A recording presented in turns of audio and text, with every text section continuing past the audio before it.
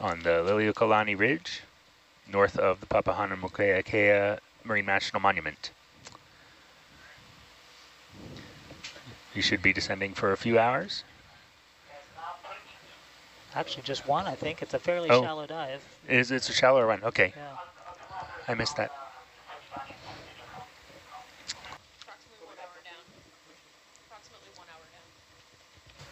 It'll be approximately one hour. Ground fault and the craft went away. Three meg. That's good.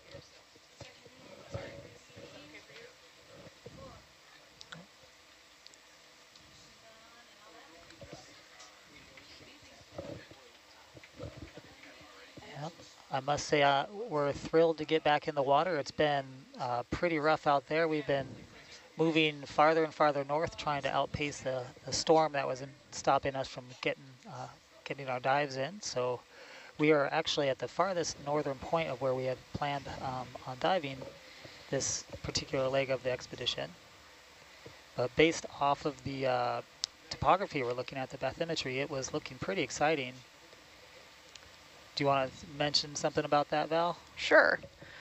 So uh, this is an interesting uh, seamount chain in a number of ways, um, in part because of the uh, some of the biological communities that um, we're hoping to learn more about here, but also uh, how these volcanoes came to be. And uh, the seamount chain um, is doing something a little bit unusual, maybe not entirely, but it does uh, split in from one chain uh, up to the north, and as you move further south, it starts to split into two chains.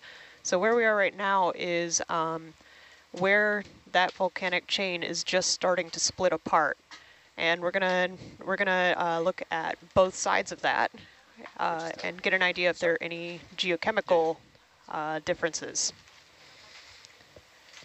And any other sorts of features uh, structurally that might be of uh, interest to scientists who study how these uh, volcanic chains uh, erupt and form and behave on the seafloor and what stories they might be able to tell us about the inside of the earth where uh, those, those melts originally came from. Yep.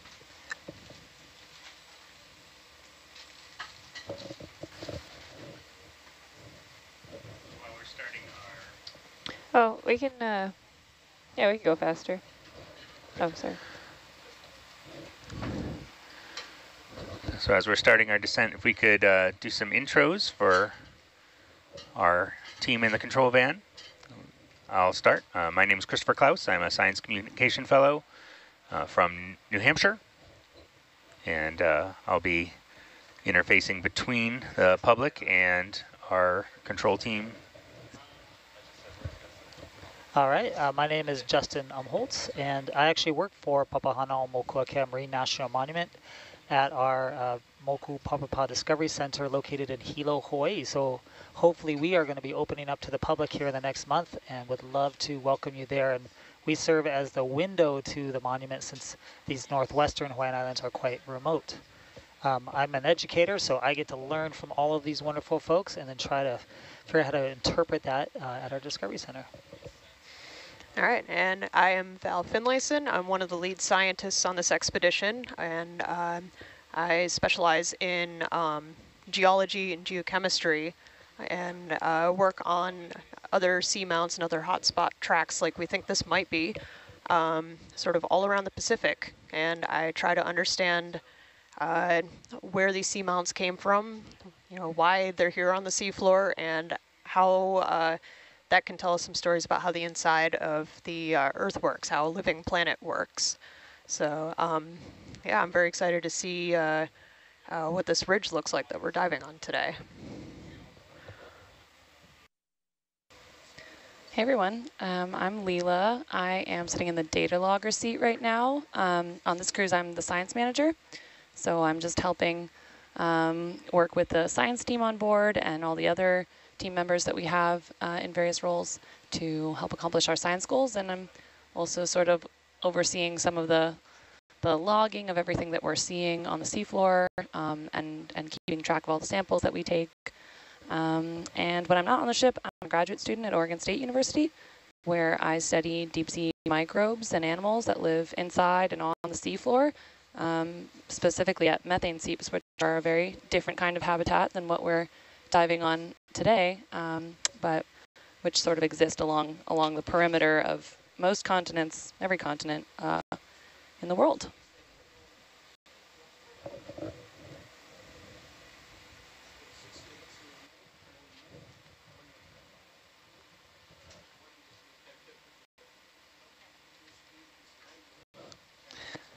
I think Christopher's going to see who in the front row is available. They're still sorting some things out.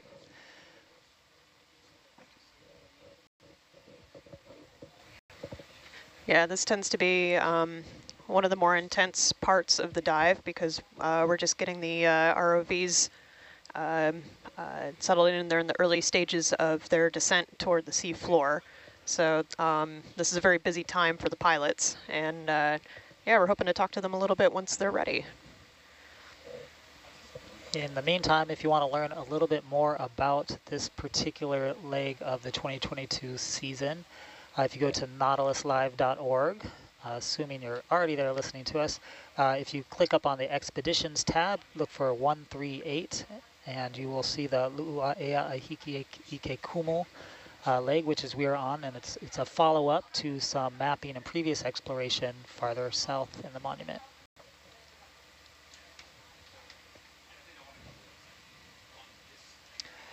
The other thing we haven't really talked about is what Dr. Orcutt is focusing on. Would you want to take a stab at that, Val? Sure. Um, I probably can't explain it uh, as succinctly as she can, but um, Dr. Orcutt is uh, interested in uh, microbial communities that grow on these seamounts and uh, their their relationship with um, with uh, what we see with some of the rocks and uh, in the manganese crusts that um, build up on these rocks and uh, kind of understanding uh, how these populations on these uh, seamounts basically work. Yeah. So while uh, I'm sure the, the long-time Nautilus Live followers, you're used to folks looking for those really nice angular rocks, which help with dating purposes. Uh, we're also going to be looking for some very kind of crusty uh, mangan ferromanganese kind of highly eroded stuff or highly uh, highly altered altered stuff. Thank you. Yeah. So what I'm after as a geochemist, uh, along with the rest of uh, the team that I work with, who are uh, onshore scientists for this cruise, uh, we're interested in rocks that have been relatively well preserved. You know, not too heavily altered. Oh, excuse us there.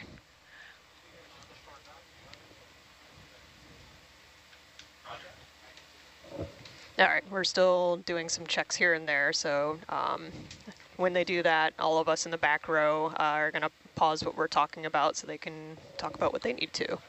So anyway, um, yeah, what we're looking for geologically are uh, fresher rocks that let us uh, hopefully get some good age determinations on them, as well as uh, an idea of um, you know what part of the mantle uh, these these uh, these came from. And Dr. Orcutt is uh, interested in rocks that are much more heavily altered because uh, uh, this is where we tend to find uh, some of these microbial communities growing. So we can get an idea of the biodiversity and, uh, relationship of uh, rock and bacteria. And for all the coral and deep sponge fans out there, yesterday, or the last dive we did was incredible. We had some really beautiful um, uh, almost forests of corals in particular. So I am very hopeful we'll be seeing some some more uh, corals and hopefully more sponges this time around.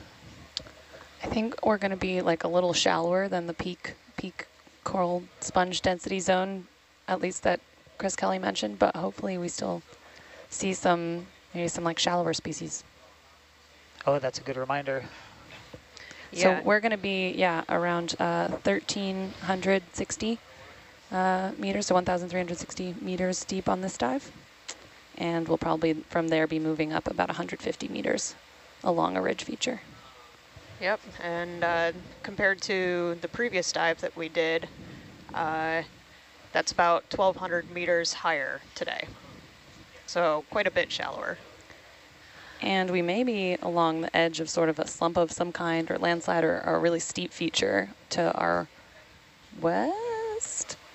I'm, I can't orient myself to the dive plane right now, but Uh, on one side. Or believe- north, the north. The yeah, the east eastern northeastern. Let's just say Let's every just single side of the thing. One of them will be right. Twenty-five percent chance of being right. huh? I, I think it's I think it's the east side that is uh, or northeast. I forget the exact Here. angle. oh no, you're right. I was just looking at it five side. minutes ago. Yeah, so there's there's some unusually uh, steep topography that um, we're hoping to get some eyes on today on one side of the ridge and uh, kind of on both sides of the ridge. And it will be interesting to see if we can tell a little bit about the um, a little bit about the uh, history of this kind of structure, whether or not we see any uh, evidence that this could be some sort of a fault or like a really old collapse. Um, it will also be interesting to see what kinds of uh, uh, what, what kinds of corals or uh, sponges or uh, other animals are that uh, may or may not be growing on the sides of those cliffs too. Whether or not it's different on either side. One thing uh, that Ryan actually reminded me of downstairs is that this depth is sort of towards the oxygen minimum zone in this area, so that might also control um, what we do and do not see in terms of fauna. That's a good point. Yeah, in an oxygen minimum zone, it's a little harder for uh, some of these uh, creatures to survive. So, yeah, we'll, uh, we're not really sure what we're going to see yet, but that's why we're going to do this. So I'm excited to learn bit more about um, what the biology looks like down here as well. Given that I work on the rocks, I don't really know a whole lot about things that are alive. In addition to our rock collection, we're also going to be taking some uh, water samples for eDNA. That'll give us a clue as to what some of the organisms are whose cells are out there in the water column, even if we don't get to see them.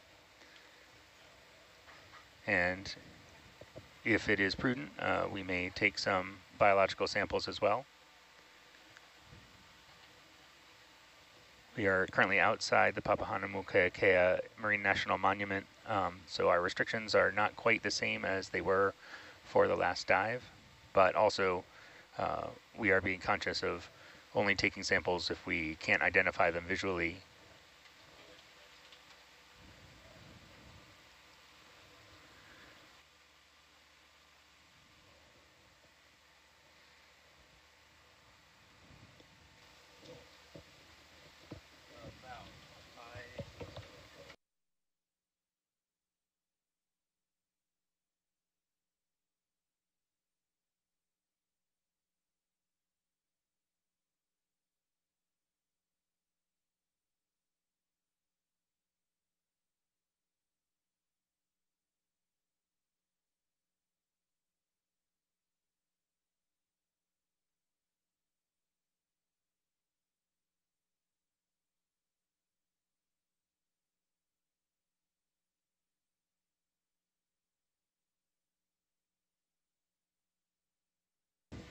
Hey, um, Suleiman, would you mind, I think Rennie said that he just, he loaded in the, the new bathy. Would you mind zooming out briefly so we can see what that looks like in Hypack?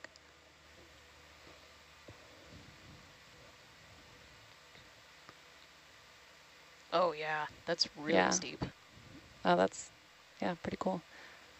I guess it's similar similar to the other side, but just a little bit more dramatic. And it goes down, Mhm. plateau sort of lower. Um, I don't know if that's up on the quad right now. Who's who's down there, Rhett? Rhett, is it possible to have Hypack up on the quad? Hypack survey, or yeah, survey.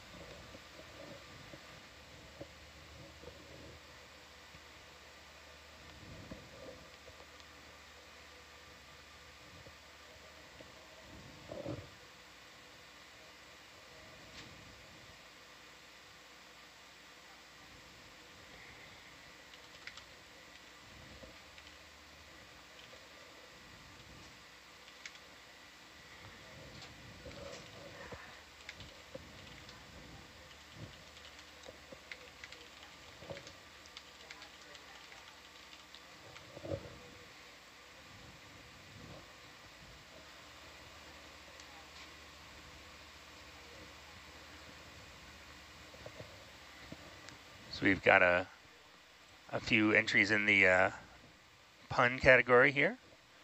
Uh, one of our viewers says, they're urchin to see all our puns. oh, that's bad. Keep them coming. uh, someone asked, how do you cut a C in half with a seesaw? Oh my god.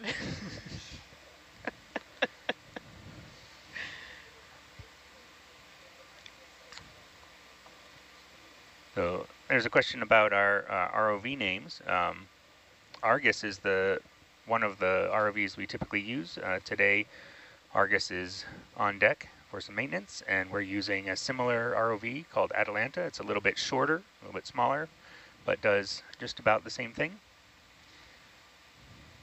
It's nice to have some backups on board.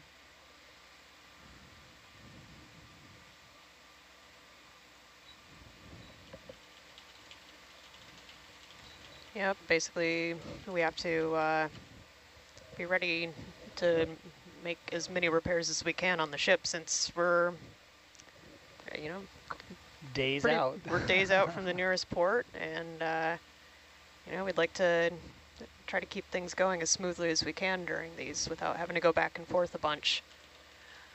So there's a, there's a lot of redundancy uh, kind of built into uh, the, the equipment and the, spare parts that we carry. Well, we had a question about what other types of rocks we might expect to see other than basalt. Any hunches on that? Uh, we're not going to see a whole lot other than basalt or um, stuff that started off as basalt, and if it stayed in the magmatics, like in the magma chamber long enough, it could uh, differentiate into uh, maybe something else like a basaltic andesite, maybe something that has a little more uh, silica in it than uh, uh, what a typical basalt does, but that is not something we run into super often. Um, sometimes we end up with uh, some of these seamounts, some other stuff that um, is similar to a basalt, but it might have like a true basalt, but it might have some, like more sodium and potassium uh, in it. Sometimes even less silica, but that depends a lot on uh, you know how how much or how little melt was generated off of this plume material in the mantle and erupted. Uh, dominantly, it's going to be basalt. Um, sometimes you know, sometimes on these, uh, uh, on uh, like the tops of seamounts, um, where they may have been above water very, or in very shallow water for part of their history, uh, we might see um, like carbonate caps from like uh, uh, atoll forming corals. So you do run into that now and again. But um, yeah, mainly, mainly you see a lot of basalt lavas.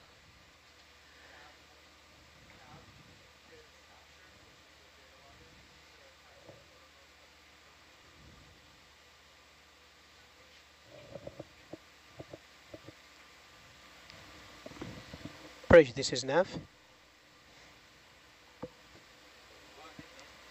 We have another viewer who... Can we get the ship moves on bearing 0 for 0, 60 meters? We have another viewer who... Uh, yes, please, uh, speed uh, point, uh, 0 0.2 of a knot. Thank you. He mentioned uh, that the the sea didn't say anything to his wife when he left for work. He just waved at her. Jeez.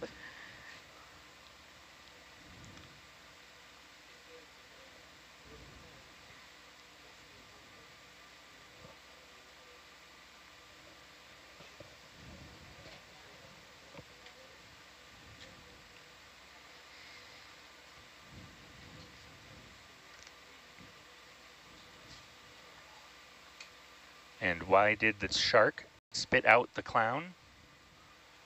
Because he tasted funny. That's just bad. That's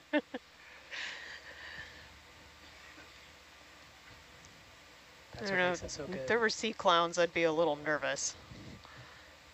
It's clownfish. You do get clownfish. I don't think we'll see any clownfish here. We're way too deep. Those guys like shallower water. Good old coral reefs. Hmm.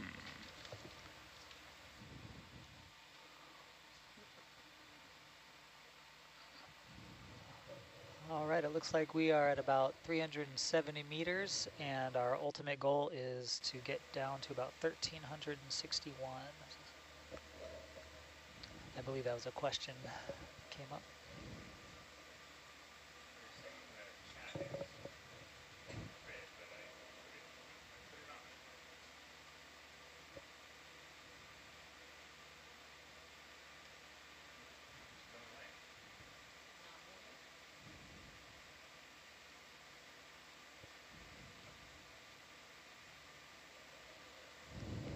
Did that fix it?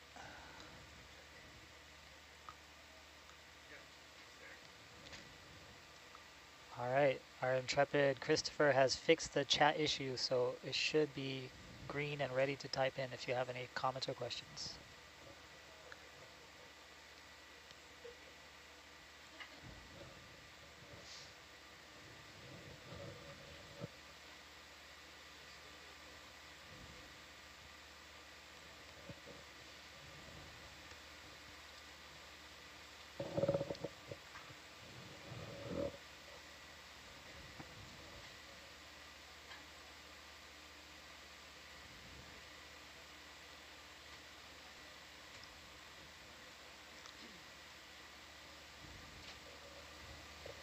You know, something I didn't think I would say too often, but I think I actually had too many potatoes at lunch. Uh-huh. They were good. the JoJo's.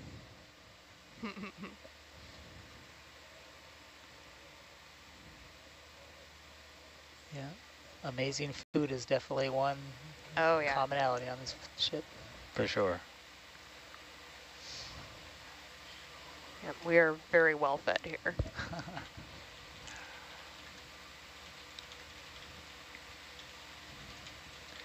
Another one of our viewers asked, why was the sand wet? Because the seaweed. Oh my God. What? It takes a second. That took a long time. to Yeah, I didn't get that one. What do you get when you cross a shark and a snowman?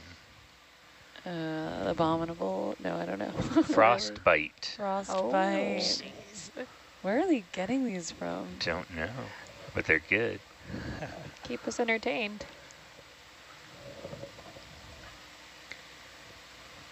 Why do seagulls fly over the sea?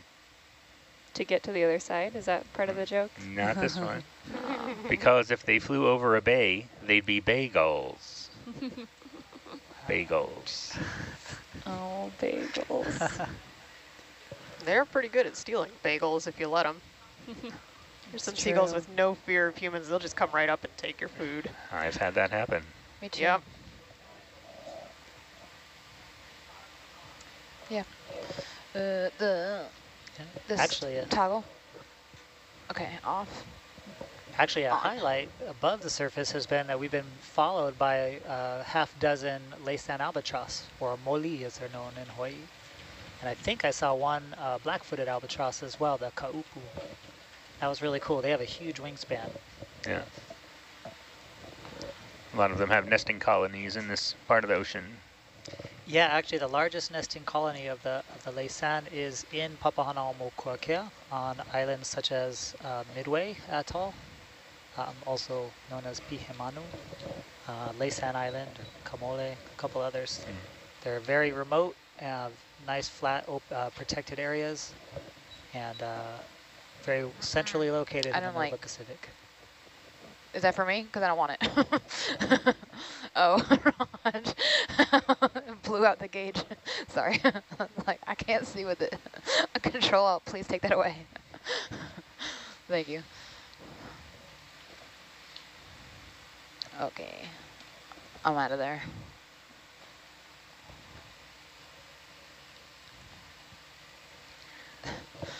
It's definitely getting darker water.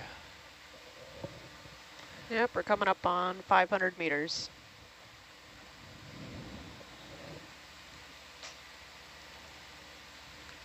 So There's a about a, third of the way down.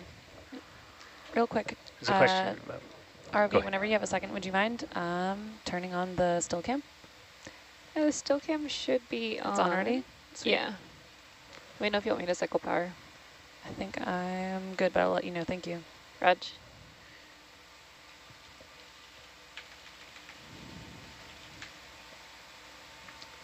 and a question about what the function of Argus is, Argus or Atalanta in this case, we're, we're diving with Atalanta. Um, the ROV in between the Hercules ROV and the ship uh, does a few things. Um, one, it gives us some extra light and an extra camera perspective. But a bigger thing is that um, because it's tethered in the middle, it absorbs a lot of the bouncing from the ship. And so you'll notice that when we get down there, uh, Atalanta will be, the camera view will be kind of bobbing up and down the way the ship does at the surface. But it gives a little slack for Hercules, so Hercules can stay nice and still on the seafloor. And we can have a lot more control over it.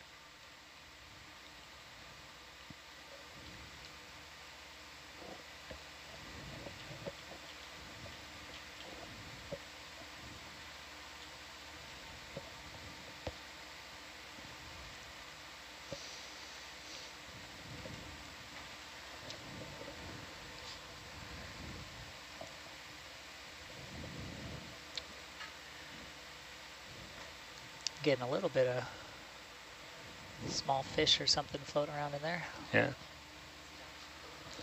Caught it out of the quarter.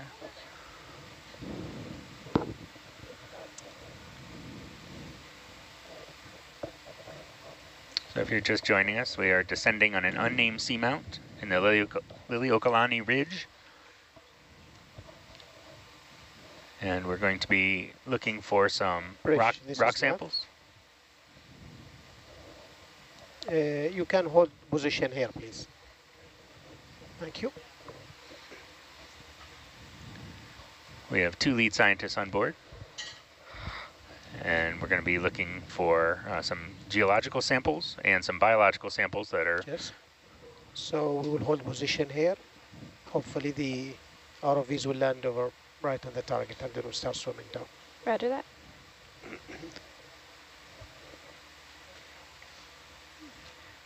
We're going to be looking for some biological samples of uh, the bacteria that are growing on these manganese nodules or ferromanganese nodules at the bottom of the sea here.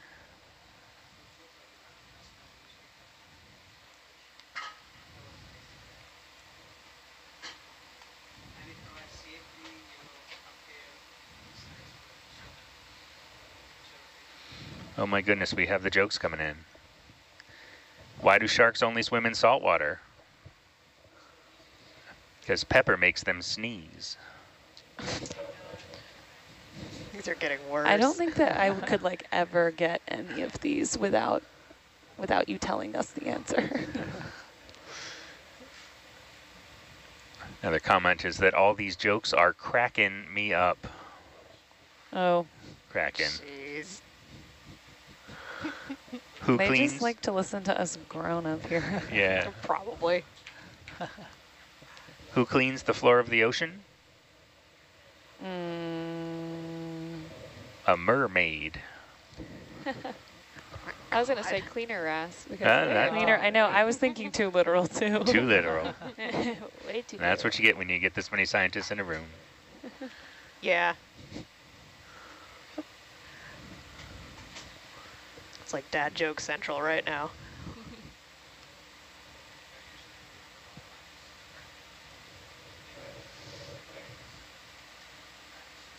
We do have a question about when we expect to see Argus back in action. Do we have uh, any guesses on that? Or is that still up in the air? Uh, that's um, up to up to our bosses. All right. To- so uh, uh, no ETA on that, but um, yeah, stay tuned. Atalanta's doing a, a good job filling in. So we're lucky we have that backup. Yeah, not very often you can do a full vehicle swap and, you know, have everything be, be all good and Gucci gang, as they say. so.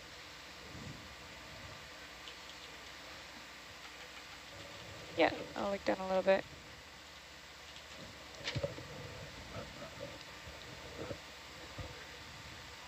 Right. I'll center it up for you again. Yep.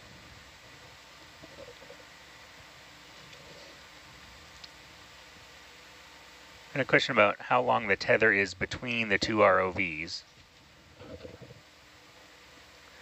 20 meters? Yeah, this one's probably, uh, what does this one, Kylie, do? 30 meter?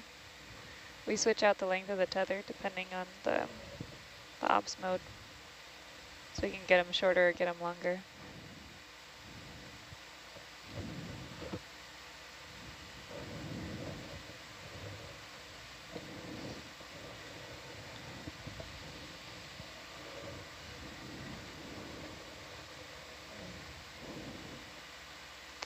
Question about our control van, how many people we have. Usually it's between uh, 8 and 10. I think we have 10 at the moment. Back here in the back row, we have our science team. And up in the front row, we have the folks that are doing all the driving and coordinating. And our video engineer is up in the front as well. I'm going to start slowing down again. Sure, sure thing.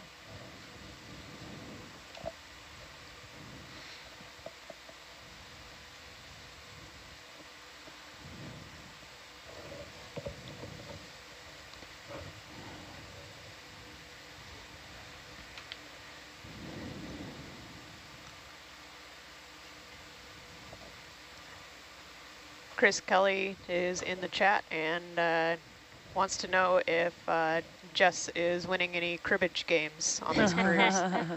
Wouldn't he like to know? Chris is also a cribbage shark, so Oh. I would say way more than I. Started betting soda at the end of it.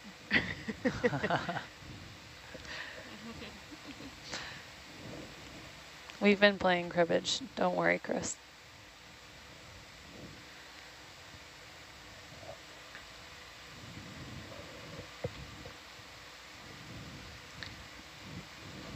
So our planned descent speed is about uh, 20 meters per minute. It's about as fast as you can walk or so.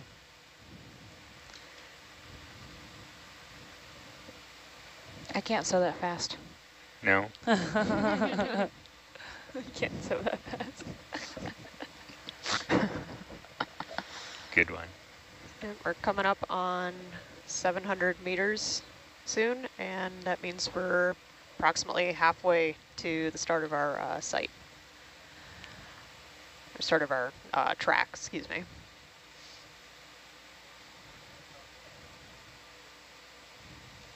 And if I remember correctly, we have eight waypoints evenly spaced, and we have an eight-hour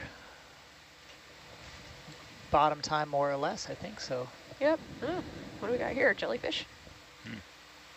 Yeah, look at that.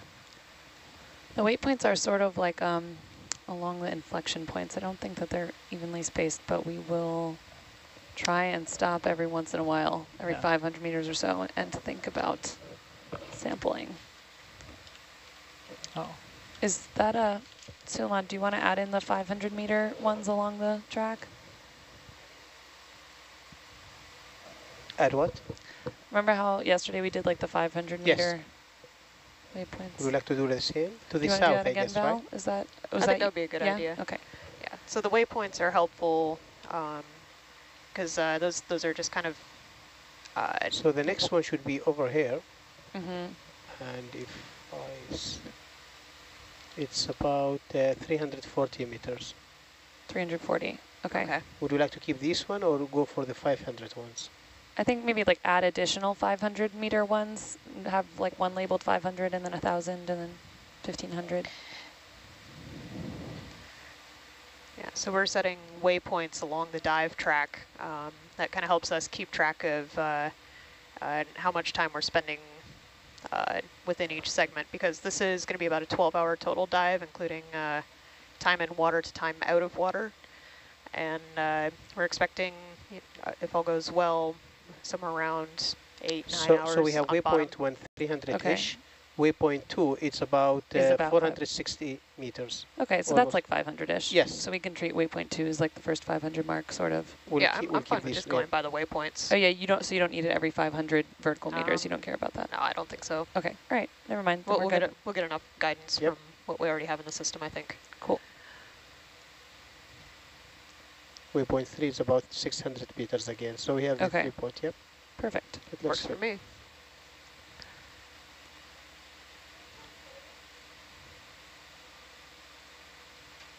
So yeah, Yeah. we're going to be moving much slower on this dive than we did a couple of days ago. Um, the weather conditions topside are uh, much more favorable, so we can really take time and uh, uh, survey uh, pretty thoroughly along our track instead of kind of having to book it, see what we could, get what samples we could before we had to abort. So this will be a much more uh, gently paced dive today. Sounds good, though. Mm -hmm. No need to hurry if we don't have to.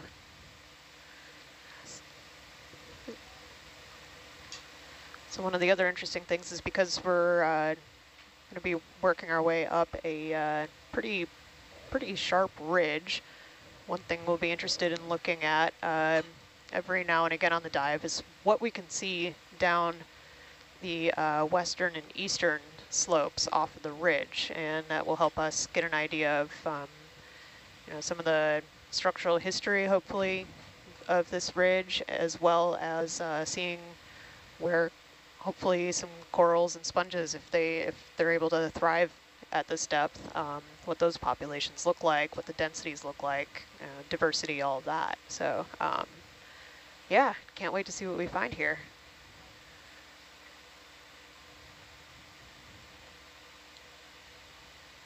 Because we're going to be about 1,200 meters shallower than we were in the previous dive, things may well look very different.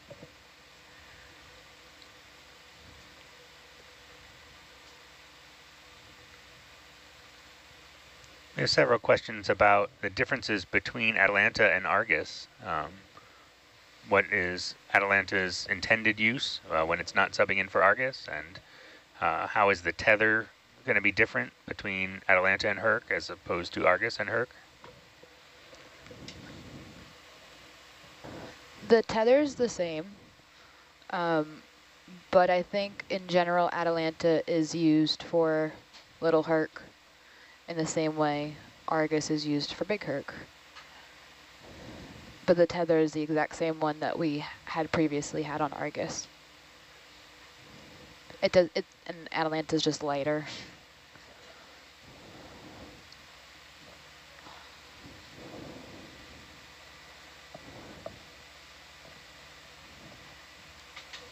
Thank you. And another question about what are all the white dots we're seeing on the blue background here? Plankton, marine snow. Yeah. There Fish lo- poop. Lots of zooplankton that are alive and small um, that we're seeing, like Sorry, exports, fish exports. And then uh, some of this is, is sort of like dead organic matter that's just sinking. And uh, when you're in waters below more productive areas, you'll usually see more marine so snow. So sometimes like off the coast, coast of um, California or Oregon, we've gone through uh, we've gone through areas with much more marine snow than this.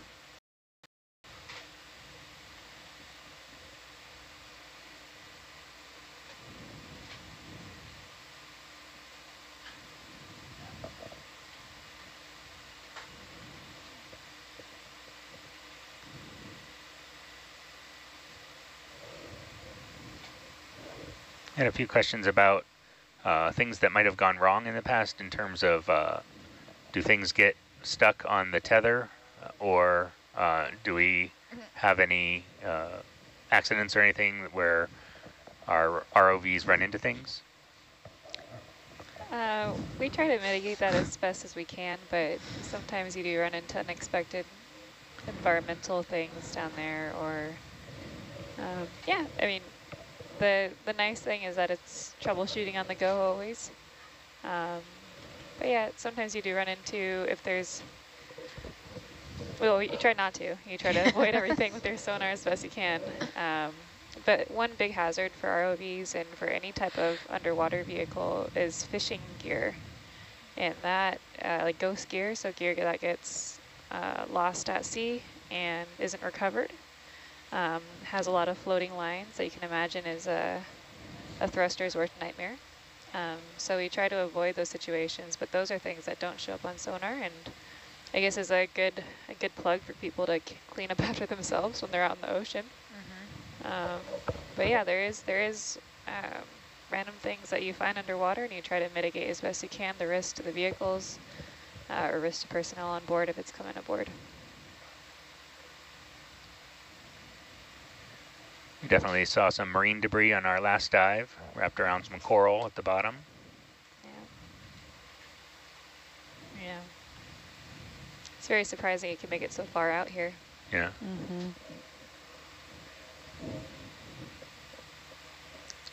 Yeah, the northwestern Hawaiian Islands are kind of like a little comb with all the shallow reefs there. So um, being sort of at the center of the North uh, North Pacific Gyre, uh, the circling currents, we get we get a lot of marine debris washing up into on those reefs and on the islands themselves.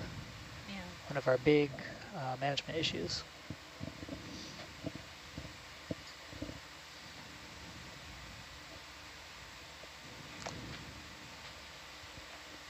Have another joke. Ooh, yes. A woman is walking along a beach when she sees a man splashing around feverishly in the ocean. Help, shark, help, he cries. the woman laughs because she knows the shark will never help that man. I like that that one was a whole story. What should you do if you're addicted to seaweed? Oh my gosh. No. Seek help. See. Oh. Seek help. I have another question about what are you studying in the bacteria microbiome from this dive? I think Beth is looking at lots of different things, which include like what what role the, the bacteria or microbes in general might be playing in forming the ferromanganese crusts that we see, and also um, questions about sort of what ecosystem services, we call them, but what what services those microbes are providing. And although although the, the ferromanganese crusts inside the monument are not the target of potential mining in the future, um, there are other regions with crusts uh, that are so similar um, that are the target of deep sea mining. And so um, Beth and her lab, the Orcutt lab, uh, want to sort of figure out what the what the economic value of those services that the microbes just inherently provide is and what would what would humankind need to what is humankind giving up uh, in in sort of destroying those habitats by mining them um, yeah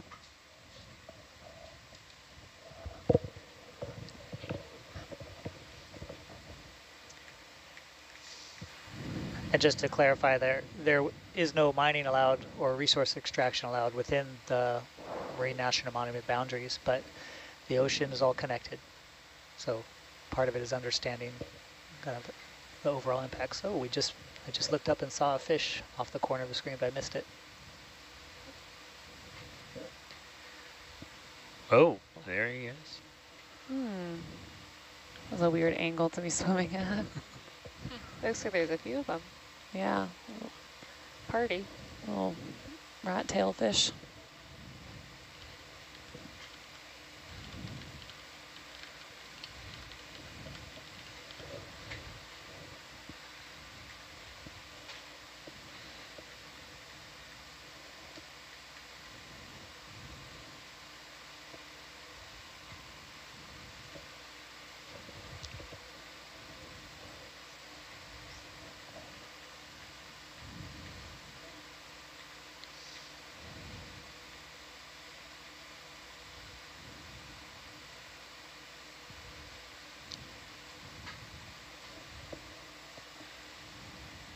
We have folks tuning in today from four different continents, representing 11 different countries.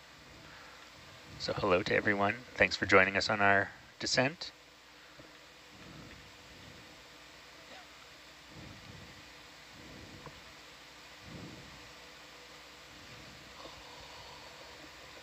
I have another question. Do the ROVs have windshield wipers? No. No windshields. No wipers.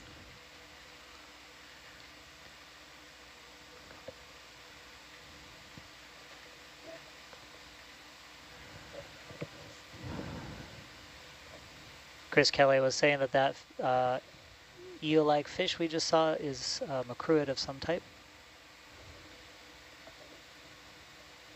Which, uh, looking in the uh, ID guides that are publicly available uh, on the NOAA website, if you type in NOAA benthic ID guide, uh, you can see, or also uh, if you type in SOEST DARC ID guard, which is through University of Hawaii. You can check those out.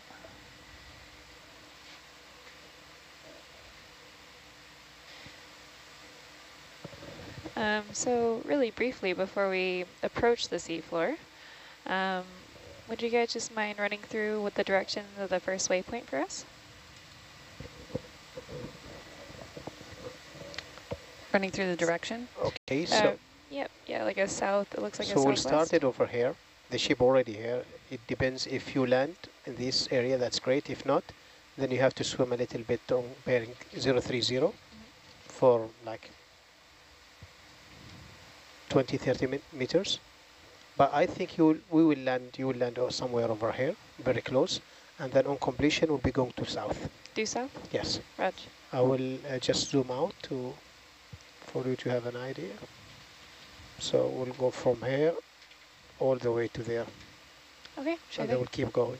So they want the they want the gully of that little rift, that little valley, or does it? Do we have to go back to that initial launch position, or is it good wherever we come down? No, we need to start from here. Okay. Yeah, up there and then go down. Okay, Reg.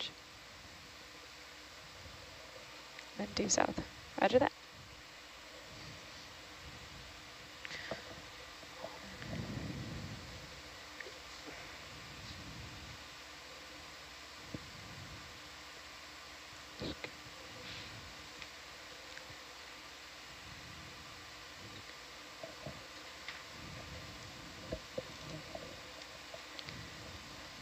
So we have a question about how long our descents usually take. Um, that all depends on how deep we're diving. Um, yesterday's, or yesterday, two days ago uh, when we had our dive, uh, it took around two hours. This one's about one hour dive to go to about 1,300 meters. And one more, I'm gonna slow down. Roger. Okay. That flicker is, oh, is in the winch cam. That's interesting. I thought it was a shadow. Okay. I'm slowed. Roger.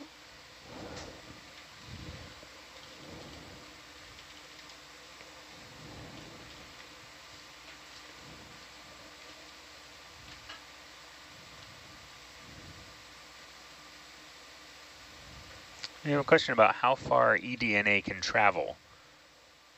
Hmm. And after we sample it, can we take it uh, hundreds or thousands of miles and still be able to use it? Oh, okay. So how far can the eDNA travel once we've collected it? I believe that's the question, yeah. Um, yeah. Uh, so once we've collected it, we so Oh. we have Sorry, I was wrong. It's the other way traveling around. to the Niskin bottle, not, sorry. Okay, sure. Um, okay, so I guess you're you're asking about how far, like once it's sloughed off an animal, how far can it travel? Um, the temperatures are pretty cold down where we are, so uh, you know, like four degrees Celsius. DNA when it's uh, you know no longer in a living organism, and when it's in warmer temperatures can degrade uh, pretty quickly after a while. But so it, that's kind of there's not like a, a point blank answer to that question, but um, it can travel pretty far. So it can it can it'll stick around for a little while because it's pretty cold, um, and it can travel pretty far depending on if the water that it's in is flowing in a current or not. Um, and, and how far and fast that current is flowing. So you don't always know when you collect any DNA sample that you're getting DNA from, you know, you're not getting just DNA from the coral that you're looking at right now. You're getting also sort of upstream DNA from wherever the current is flowing. Um, and so there have also been some some studies where you take take water samples from both like right in front of a coral and then also downstream of, of the that coral um, garden sort of and compare those. So we're not like totally sure always what DNA we're collecting and how far it's traveled to get there, but the hope is that um, that you'll capture DNA from an assemblage like the one that you're looking at. And that at least like the most recent, uh, least degraded DNA that you'll end up being able to sequence is from, from the communities that you're closest to.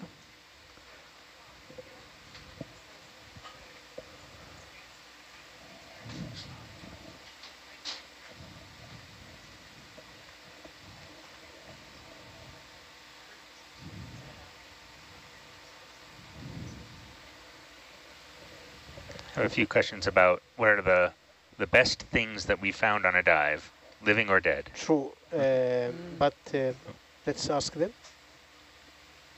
Yeah. Yeah, let's ask them because um, I got the fr from Dwight. They would like to to really start from here. I think they they will uh, collect, but we can ask them. Back rows. Was it important, Val, to collect from right inside the launch site? Yes. That's the question. Ideally, we would like to stay on those waypoints, but are we having trouble holding? Oh, no. Oh, oh no. We've yeah, just no. streamed out We're good. Oh, as okay. as just as we were descending. We're now sort of like in between that and originally waypoint one was is is over here, and then we added a launch one, two that's sort of like in the dip here. Oh, okay, okay.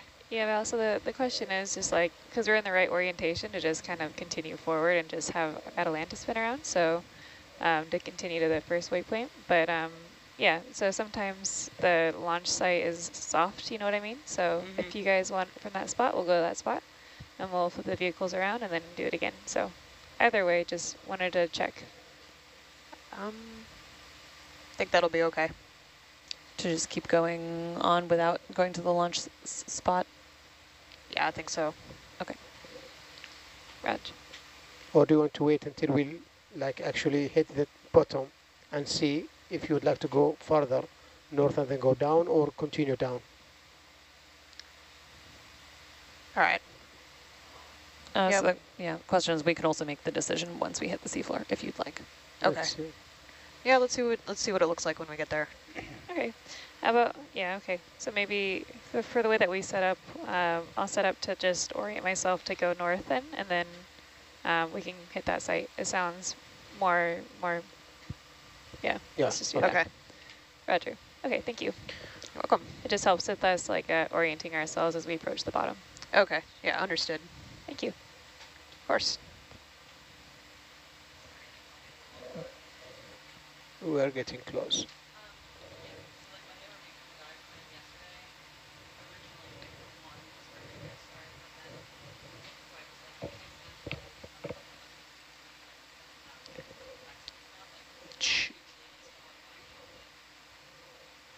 Shall I go with the um?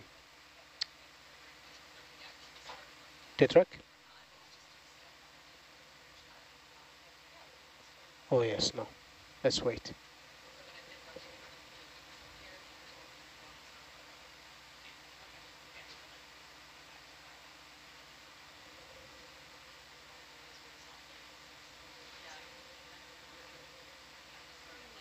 Like 50, yeah.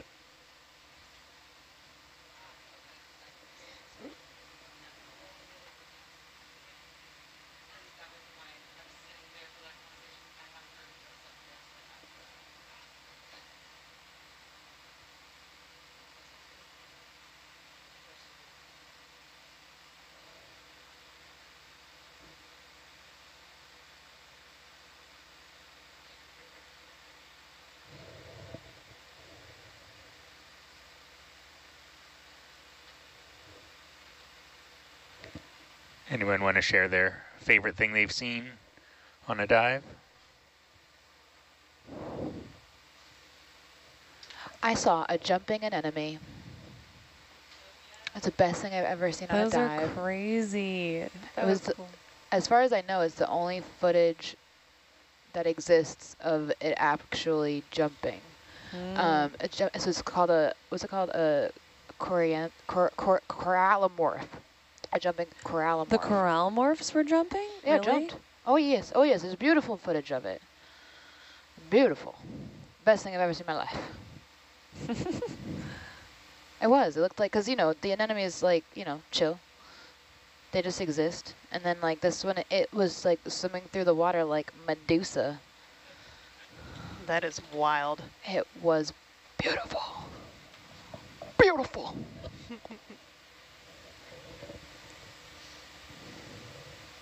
The coral morphs are actually like not really.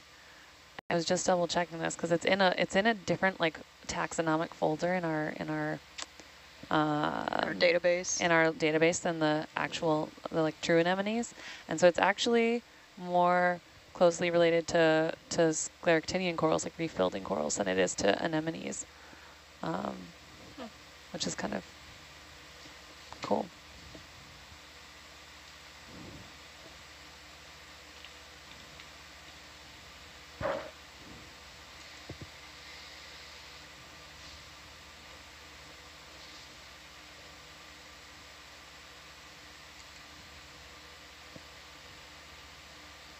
Question about um, what we do in order to uh, keep our area clear of whales or to make sure that our sonar doesn't interfere with marine mammals in the area. What was that? How do we uh, make sure that our sonar doesn't interfere with marine mammals? You want to take that one, Suleiman? Uh, the, the, the question was, how do we make sure that the sonar doesn't interfere with marine mammals? We have a like there's a marine mammal startup mode on the on the EM302 uh, multi-beam sonar that we use. Um, so it kind of like ramps up the power slowly over multiple minutes. Um, and then I believe also in our Justin in our uh, permit, we're meant to not turn it on and off abrupt too abruptly too often, right? Because that also can Cor- disturb correct. marine mammals. Yeah. And if there is any uh, any marine mammals sighted in the area, then we stop operations in a safe way Mhm. and wait for them to pass. From uh, what I'm reading here too, the the multi-beam sonar is very short directional acoustic pulse. So um, based off of existing studies by the Navy, U.S. Navy, um, its impact has been seen as very minimal on marine mammals.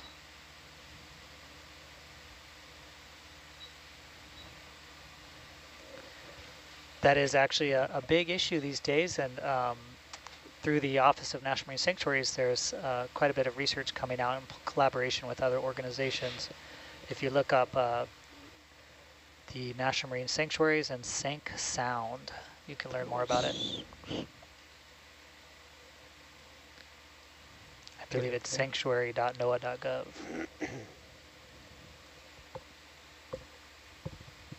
I don't know what that just was. Something just flew up. Saying altitude Oh, I 106. missed it. So the trouble is you look away for a second and something crosses the screen and descends. Mm-hmm. Three Right. beams. So we're a little over 100 meters above uh, the seafloor. So Yeah, four beams, 400 meters altitude. That's pretty good. Mm-hmm. Yep. Interesting. That looked more like a rat tail, but it's so I hard to tell from that. Missed it. Yeah. I gotta move the screen out of the way. There we go. Would you try and put it back on the porch there. Thanks. And then maybe we can get one of the lower screen video. You want to put the lower? Okay. Just, yeah, your cam.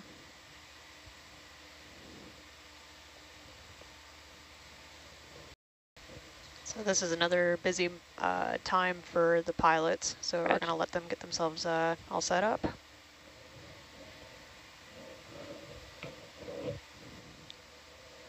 You guys looking good. Shall I do the dead track or not yet? Yeah, let's let's wait till the vehicles get under e underneath each other. We get positional awareness here, and then you can go ahead and set it up. Okay. You are not, no? Yeah, so we're gonna at about 60 meters altitude. We're gonna have all Spread. Atalanta all stop. We're gonna bring Herc underneath, Ah, okay. and then we'll get in visual front. contact. Okay, I got it. Um, ideally, actually, um, if we can do dead rec, once we get visual contact with the seafloor, then we'll be stopped there for a minute anyway. Excellent.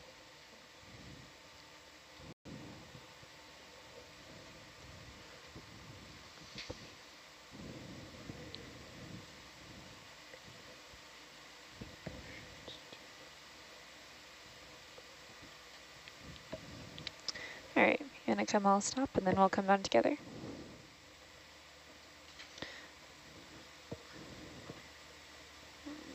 Zero. Mm-hmm.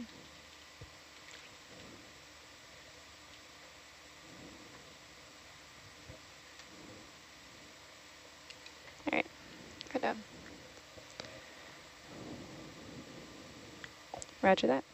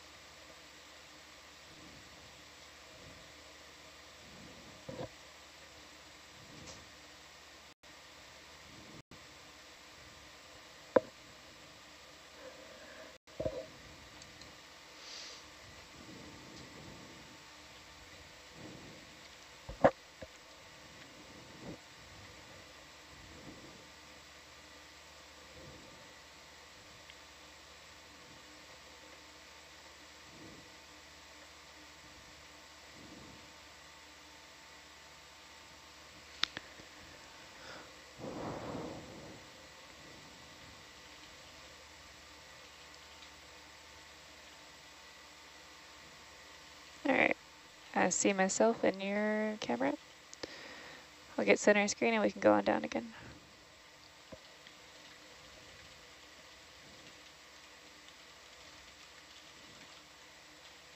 It's nice the camera's not all flickery today. Yeah. yeah, it's not going disco. And what's the approximate uh, bearing to that target there for the launch? 015? Um, bearing is 035. 035, Reg. Yep. Okay, you want to turn to 035? I think you will land over there, so Reg. All right, I'm ready for you, Kylie.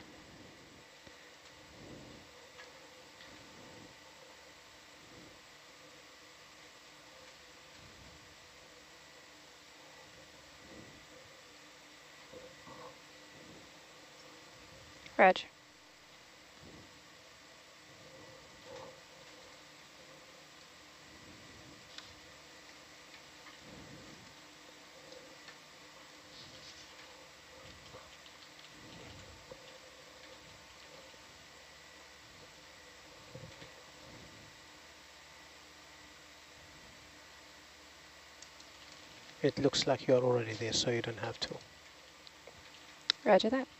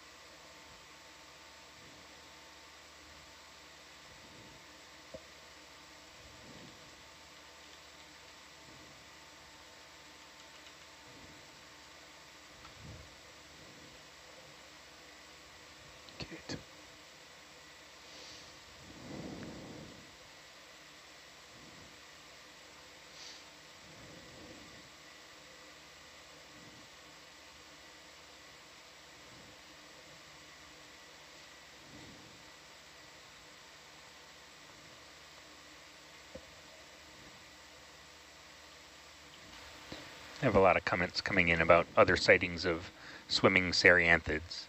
All right, we got visual contact of the ground. Oh, great. All right. Yay, bottom.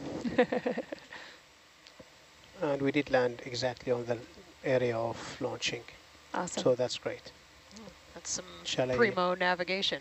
Mm-hmm. All right, and what do we have? You ready for sea it? star off the bat. yeah, I'll sit down here and you can Okay. go ahead. Instant biology. Instant bio. Just add water. the bottom is what is all where are all the white splotches? This is oh, there are so many Those are stars. There's small sea stars. Yeah. Okay, well, something to look at while we get all the systems set up. um, Justin, if you wanted to come over here at some point, I can show you the still camera. You disappeared from here.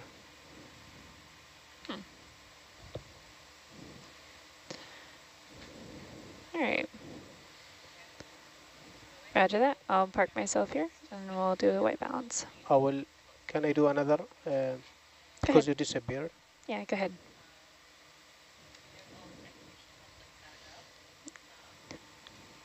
Want to? Oh yeah. uh, Oh no, I was talking to Nav, but um, one moment. Sorry. Uh, you don't have Doppler or, Uh, let me check. Doppler is on. okay, that's strange. Can I reset DVL? Yeah, you, you're all clear. Go ahead. Okay. Excellent. Nice. Good. Look at our sonar. Back row, so we are uh, right on the spot of the launching as we wanted to start.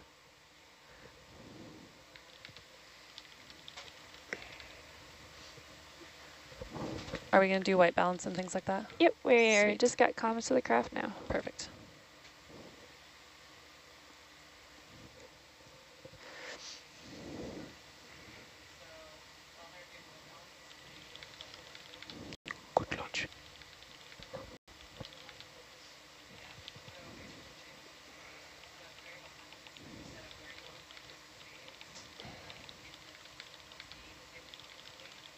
Okay, video, you can go ahead and push on in there a bit.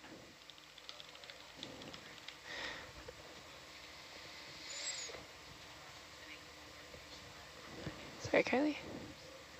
Let me, actually, let me push up a little bit here.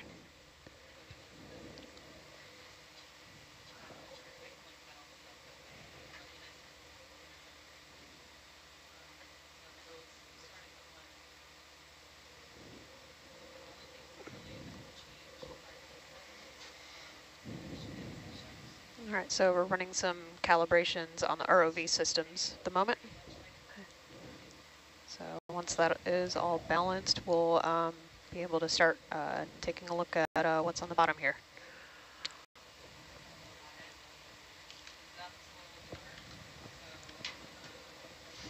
Is that good there?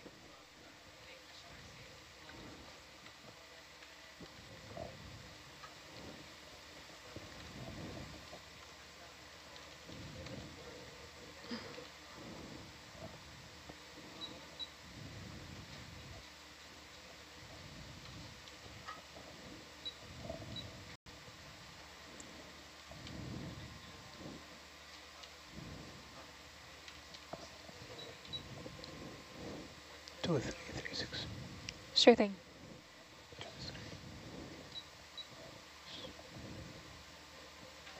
Somewhere out here, probably, I can imagine. One second. Ugh. Please stand by. Is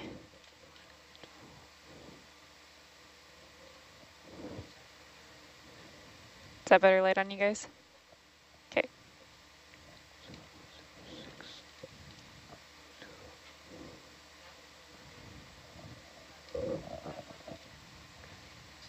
Three, six, three. Three, six, three.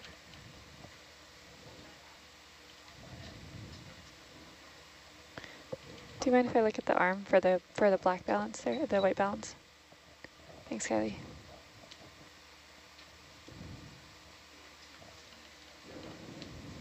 Roger that.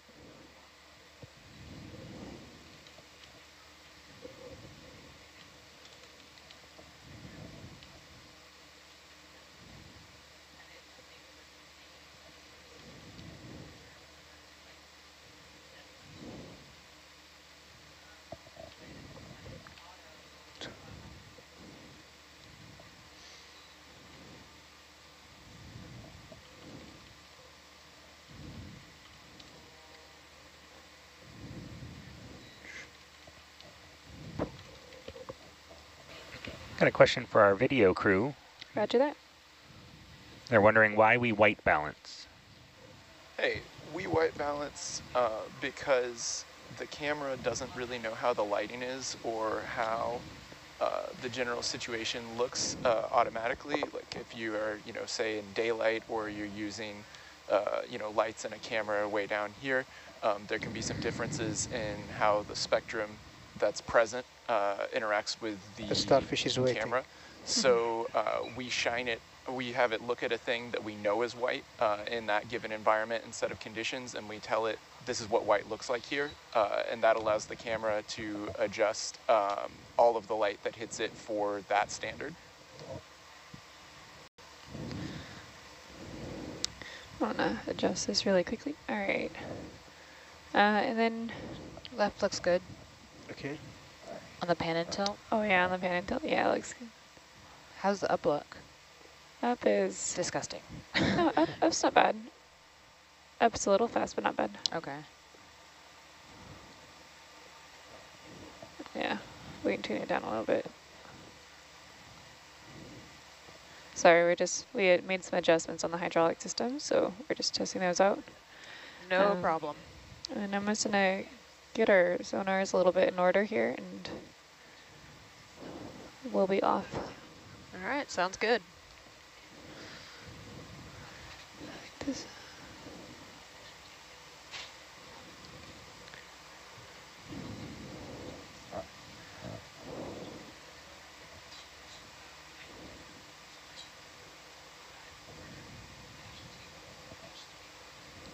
Here's trying.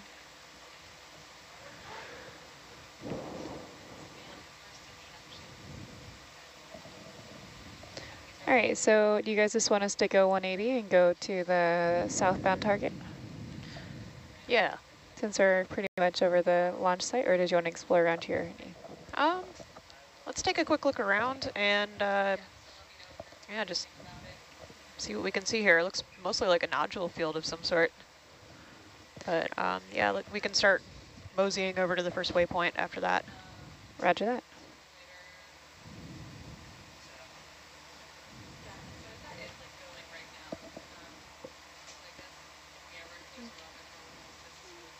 Chris, is there anything you want to look at?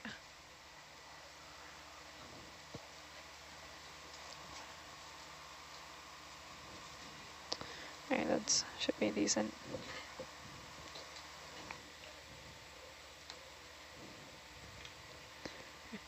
All right, I have a feeling we That may want to look at a couple of the uh, sea stars. oh, like the one dead ahead? Um, do we want to look at the one dead ahead or do we want to look at one of the smaller ones? Oh, like the smaller one dead ahead? Oh, We can we can zoom on both of them if, if possible. Yeah, let's take a look at both of those. yeah. You Um, go ahead and push on in on this wee guy. Perfect, thank you. Yeah. Oh, he's cute. Look at that little one. Aw. Do you have that one up, Justin? That looks a lot like, uh, well, actually I can't tell very well, but one of the slime stars, is that right? Slime There's a slime star. I don't know if I'm right there. I'm trying Let's to match look. it up with the ID. Echinoderms. Okay, yeah, Chris Sea wants to look at both of them. So, Looks like there's a brittle star on the left. Yeah. oh yeah, sure enough. Oh, what the one? Good spot. Uh, Chris was asking if we can put um, Hypack up on channel three for a little while. Would that be okay? Uh, I can do that. All right, thank you. Doesn't that look All right, is Chris good with this view of this little guy? And we'll look at another one. I think we captured that one. Yeah. Yeah, roger that. Full wide, please. a little hard to tell with the lighting? Go I know, I'm Dina. trying to flip through too, see if I can figure that out. Looks pretty close.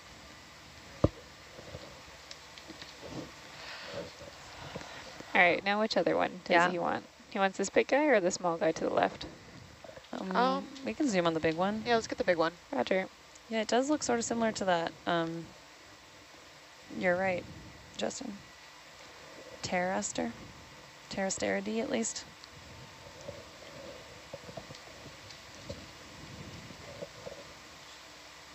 Oh, Chris says maybe a young Aspinactus. But Was that the white one, Chris? All right, go ahead and push on in there, please.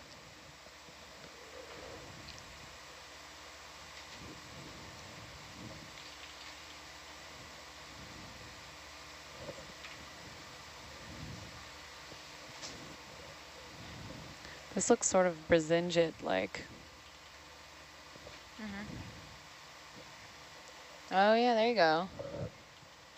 That's a clever trick. I wouldn't have thought of that.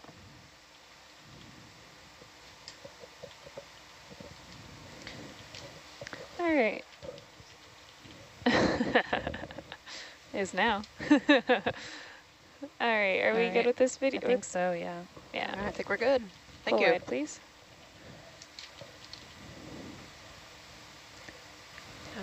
Think we're good to start moving to the first waypoint? Roger that. All right, let's do it. Thanks. Is that a fish in the background there? It is a fish. um, all right, so what's going to be our 190. 190? Rog. Once you're ready, let me know. I will ask the bridge. Roger that. One around. Oh yeah, Zoroaster. It does look like that, Chris. Reg. Go ahead. Zoroaster has common name Can rat initiate tail what? star.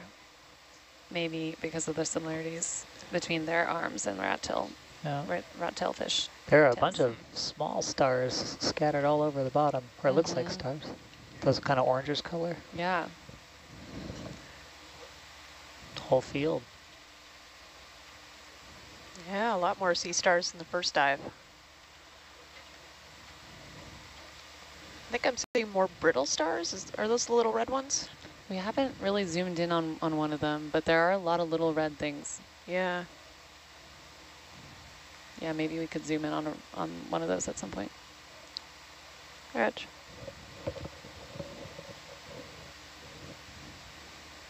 Lots of these rat tails. Except that one looks almost, it has like a really um see-through fin tail, tail fin. There's a lot going on just this, in Mhm. this one spot. Yeah, I'm curious about these like white patches.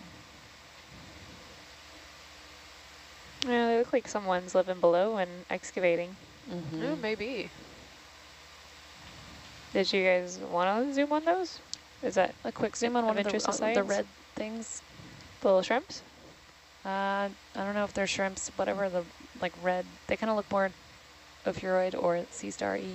Oh, I see the shrimp you're talking about. that the yeah. one you're looking at? No, not that. Like Okay. the, the little red armed things we were seeing a lot of. Oh, yeah. I can't, I think they're really small. I can't pick them out from this Yeah, there's one oh, bottom there's one left. bottom oh, yep. left. Right Yeah. there.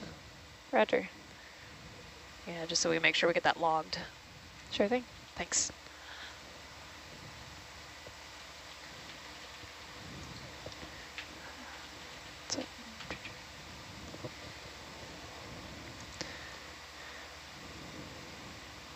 All right, video, you want to zoom in there, center screen?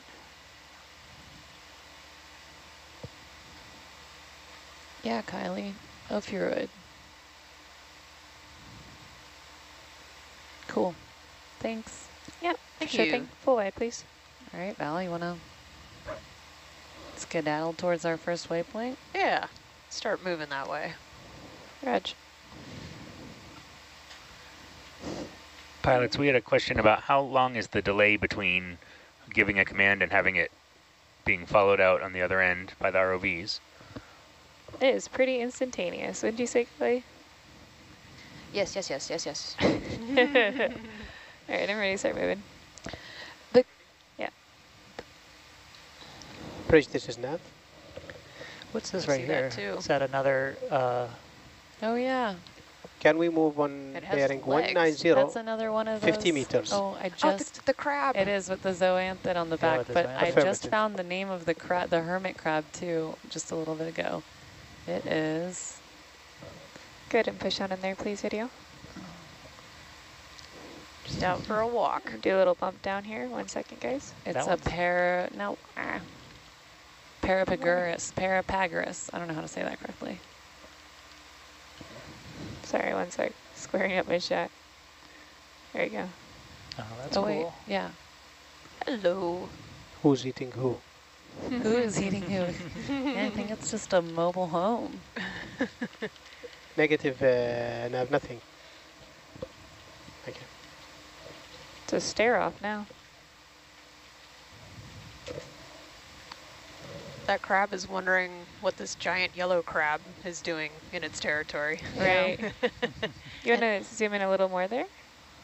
Like who turned the lights on? Chunky arms. yeah. Yeah.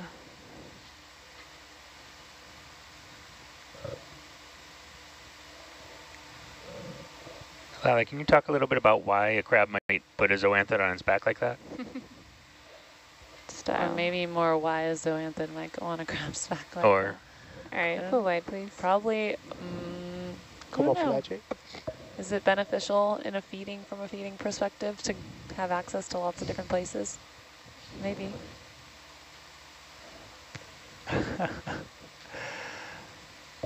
Chris, I don't know how many of your jokes you want made public. I think that Bridgerton content is always favorable.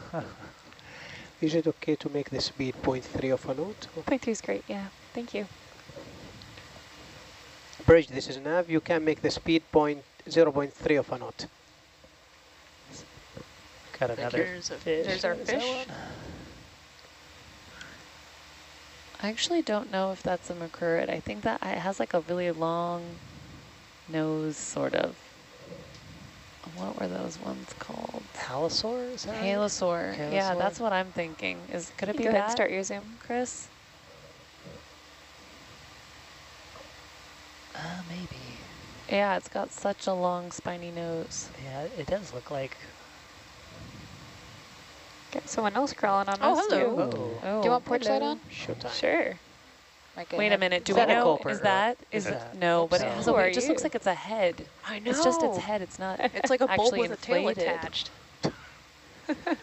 Wow, we've got some interesting fish minute on this thought dive. That's had a, that's a big nose on that guy. They're competing for the limelight. Yeah. Yeah. Wow. That is so bulbous. Oh yeah, Chris is confirming Halosaur, Halosaur, for the okay. for the All lighter right, purple one. Back it away. You go ahead and pull wide, please. Chris, what about this other one? Up Mhm. there? Thank you.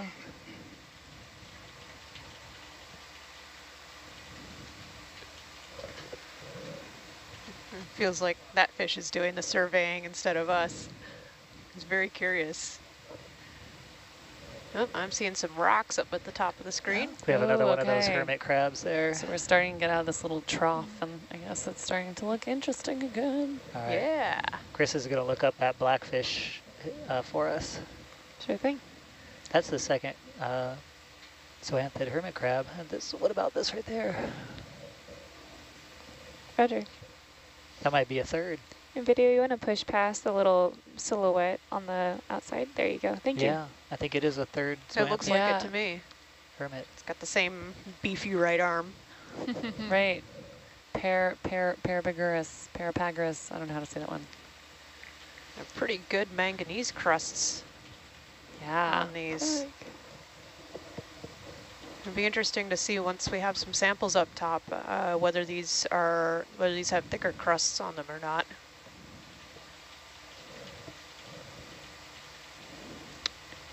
Might need to.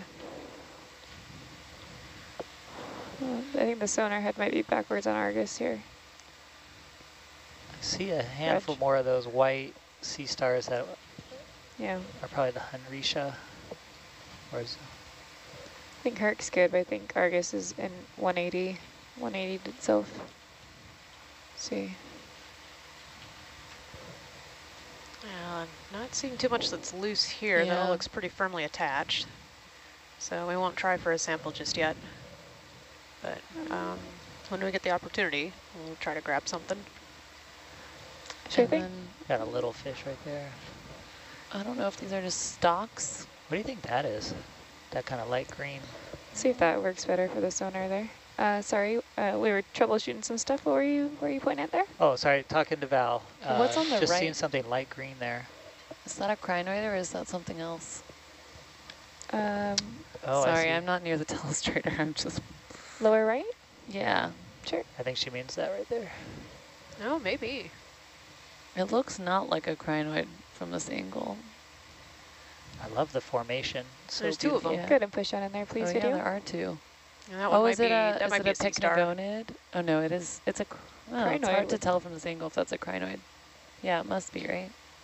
With little small arms. Yeah.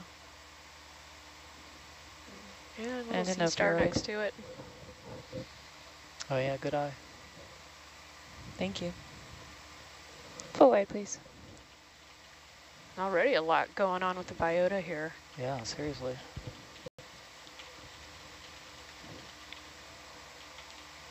Shall we keep moving or would you like to stop over here?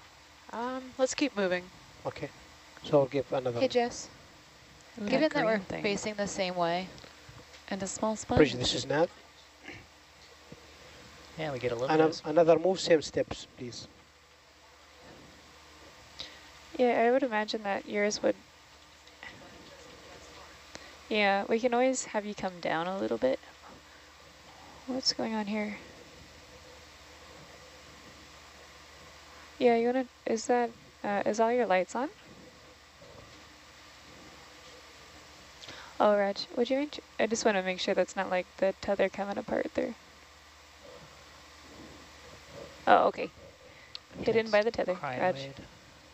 Okay, you're good. You can secure it. Now I know what it looks like. We didn't see any crinoids in the last dive, did we? We saw like one or two. We didn't see a lot. I want to know what these green, you see the upper right-hand corner? Yeah. There's like Oh, this green Right fauna there. that keeps coming up. I don't know what that is. Sure thing. Another macrourid.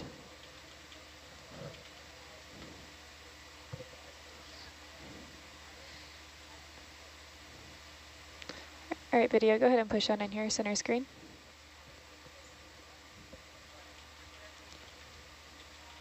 I don't even know.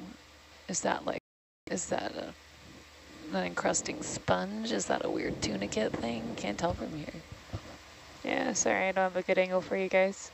Well, It's good. all right. There are a lot. We'll see more. Full wide. The texture's cool though.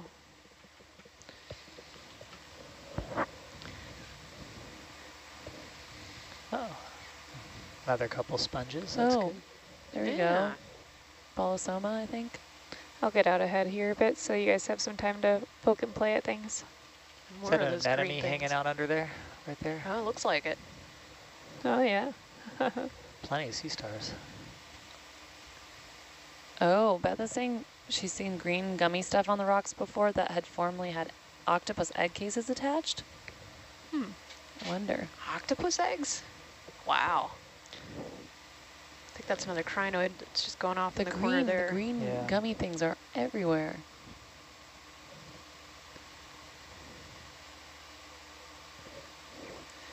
Oh, and what is this light whitey? Yeah.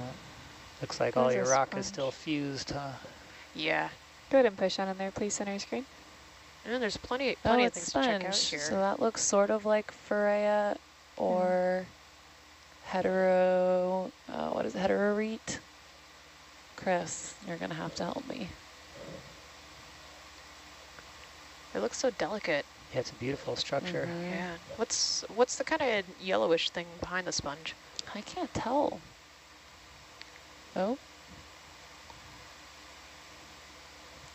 It almost looks like an arthropod of some it's got an exoskeleton, yeah. I don't know what that is. I'm gonna come full wide there, please, actually.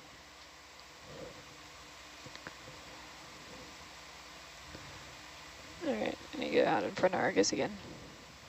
Atalanta. Need to know the names now. A little bit of sponge and coral. Whoa, it's a cool. Mm-hmm. oh, sorry, guys. No, it's okay. I'm gonna I need to get out a in couple front. of those around here. Yeah. More sponges. You know, on the last cruise, we used this expression, um, pennies in the zoom bank. Pennies Uh, and panties, pennies. No, pennies. pennies, pennies in the zoom bank. So like if if uh, Herc is at the top of the Argus screen, you have time to do more things. You have you have pennies saved up where you could stop and look at something. But if Herc is falling out of the bottom of the screen, then we you need to move. You yeah, and you got to save up for zooms. Sure. Whose whose whose quote was that? I think that was Gabby, but I think she got it from a scientist on a previous cruise. Oh, Reg. It's a good metaphor. Yeah. Like, uh, can I make a withdrawal for a Zoom? I'm like, uh, no, you cannot. You're in the de deficit.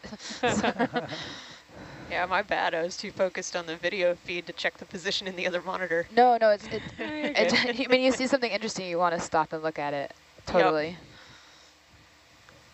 Yeah, we'll let you know if uh, we'll we'll say that you're in debt. I suppose. I like that analogy. It's Okay. pretty good.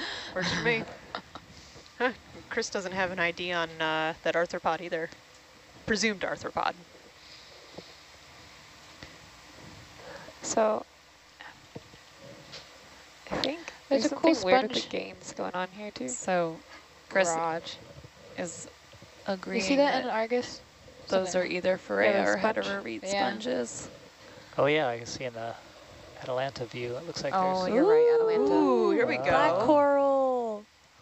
Oh, Whoa, what's oh. at the top? We got something big coming. That is. So not the not the little shark guy. I can't really see the No, shape that yet. pretty thing. oh, wow. Oh, that's really interesting. I don't know what that one is. It looks like it's a little it more almost sedimented looks like those Heterochone ones, but not quite. It has a weird like internal structure there. I'm gonna just change my heading a little Go just and do a to. partial zoom, please. Wow. Can we see Yeah. the, the attachment one. too at some point? One The second. attachment point. Yeah, if if possible. Sure. Do you guys want lasers on or off? Is it Corbellidy? What- Um, maybe off for a second. Yeah. I think we're going to get a couple of stills of this. Reg. You can go ahead and push on it a bit more and we'll see if we can see the base. Black coral. That's a cool sponge There's underneath some- it. There's like an encrusting coral on it. Is that what's going on there? The purple? Oh, at the bottom. I think that might be zoanthids. Or not zoanthids, but uh, uh, one of the ones that looks polypy, and I never remember if they're zoanthids or if they're uh, uh, hydrozoans. Go ahead and come a little wide, please. Oh, wait. No, they are stoloniferans, That's I good. think. Interesting. All right, I'm going to keep moving, guys. All right. I think so. Pull wide. Yeah, thank Keep- you. Keep moving. It's beautiful. Yeah, we keep moving. Bridge, this is nav. Another move, same step, please. So is it just me or is it a little more sedimented here? It looks a little more sedimented. Yeah, it looks a little, a little, it looks like there's some local variation in uh, where we're getting sediment so far. I'm gonna put my heading back. And Reg. that, that might have something to do with some of the different distributions we're seeing perhaps. Different populations showing up in some different places.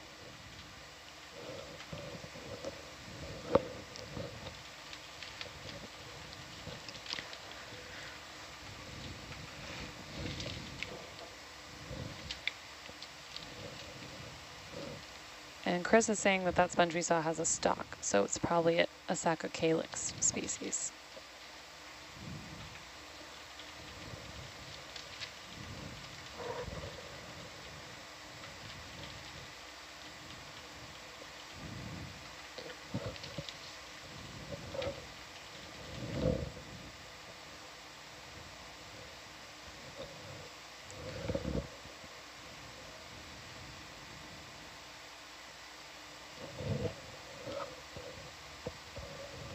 Hey, Leela, is this what we've been seeing quite a number of right here? I don't think so. I haven't noticed any of those, but maybe. Oh, and also, this sea star actually on this page looks a lot like what we've been seeing. The Corythrasteridae, that white one. I Oh, haven't yeah. noticed those, but but you could totally be right. Looks like there's like a Henrique off to the left.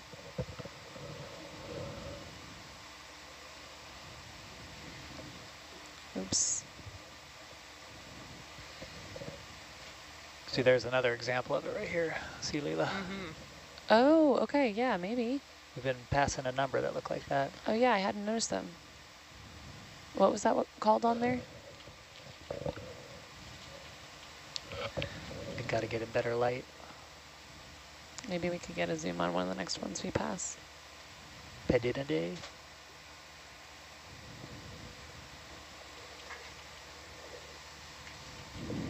Would you mind centering up there, please?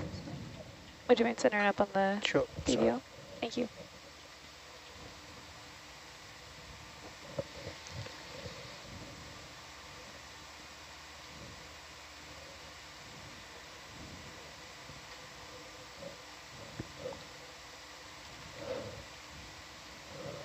Oh, there's another one there. What'd you see? Uh, it was one of those uh, uh, sea stars again. There's so much going on here. You'd look at what they get. I know, Miss- there's just so much Abbott. tiny stuff too. It's hard to tell from just the flybys. Mm-hmm.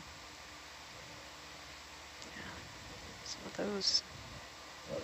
I don't know what those are, but Where? I'm not a biologist. Um, it's off the screen now. Some little kind of like whitish, stubby things. Hmm. I can't tell if they're a sponge or a coral. I'm seeing a few of them pop up here and there. Do they look like broken stalks? I can't really tell. Like that, that might be one here. Oh, that looks like oh, a there cup small cup coral, right? That's, yeah, that's the morphology I'm seeing. What were the like those things you had, uh, Oh, yeah. Justin? They're all the way over. Oh, Let me all see right. the name of that. Spiny per You gonna do a quick zoom there, please, video? pedinity. That's Hey, great. Good eye, Val. Yeah, it's a nice cup coral there. Yeah. All right, full wide, please. And Justin, you said yours is the upper left here? Oh, I was just saying, I think there's more of the same cup corals along the same ridge. Like there's, Ah, Yeah. Reg. Roger that.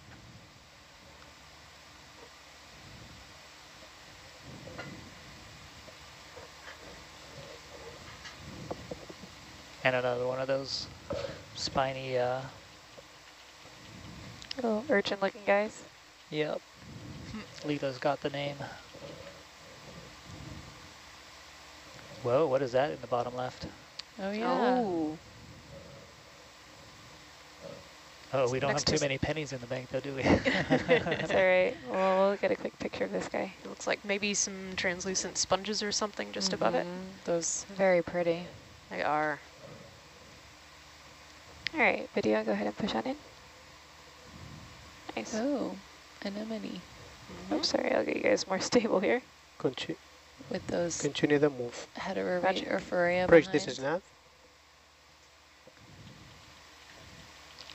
Uh, another move, same step. What's, what's that right there? Got any more zoom there, video? wow. Oh, there's a crab hanging out. No, A wee crab. Just a wee one. That's a gorgeous shot. it's pretty. Mm-hmm. All right, full wide, please.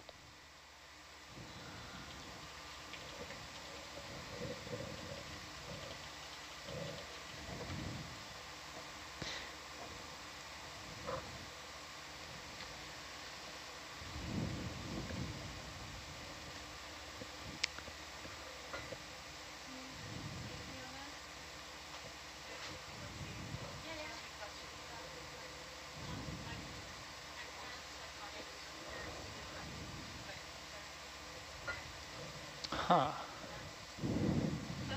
What is going on there? All right. Chris We have five seconds for a quick zoom. Go ahead and push on in real fast. Yeah, thank you. Actinernus anemone is what we were just looking at. We're going to point Chris. three. I just need to get out in front a bit. I've been a bit moseying behind. Is that a crab or a squat lobster hanging out in there? Look like a squat lobster. I think so. Full wide, please. It's Where's hard the to squat tell. lobster? Uh, Was it it- inside? yeah, it was just inside. All you can see is Oh. the uh, is is its uh, arms. Cool. Didn't get a good look at the body. Do you know what that was, Leela, that we were, I didn't see the squat lob. Oh, you mean the white thing? I don't know if that was a sponge. that was my, I was guessing that, but it, not It's little- confidently. Is that a fan coral maybe? No, I can't tell what that is. That looks spongy. I should not be the one talking about corals. I do. I know rocks. I don't know corals. Not well. Saco None of saying those Victor crabs. Gorgia. And that's another one of those Question. Parapagurus. Mhm. Okay, okay, so we've been seeing lots of these. And this green slimy stuff.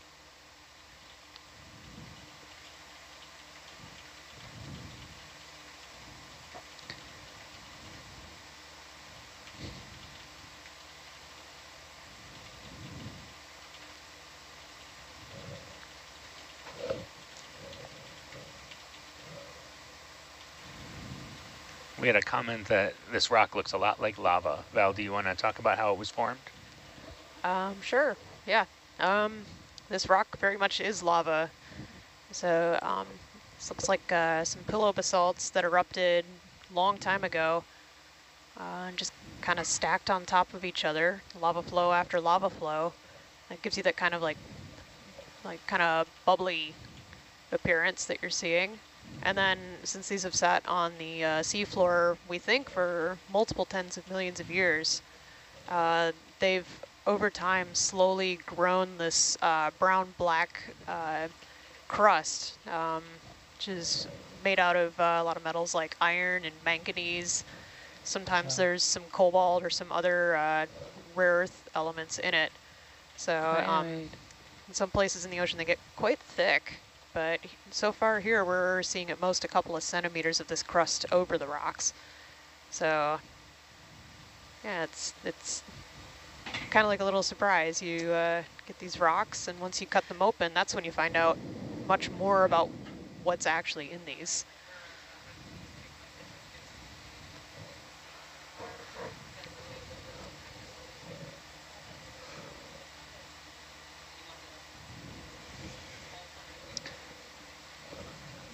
Uh, kind of missed my chance. I was looking at that weird purple color. Stock There's a couple of sponge. sponges. Yeah, these What's are that? all bolosoma. These are some of the bigger ones we've been Oh, seeing. nice. Go ahead and do a quick zoom there, please. That's great. And then whenever they do zooms, I'll also try and wait for the shot to line up and for them to adjust and, and take some captures.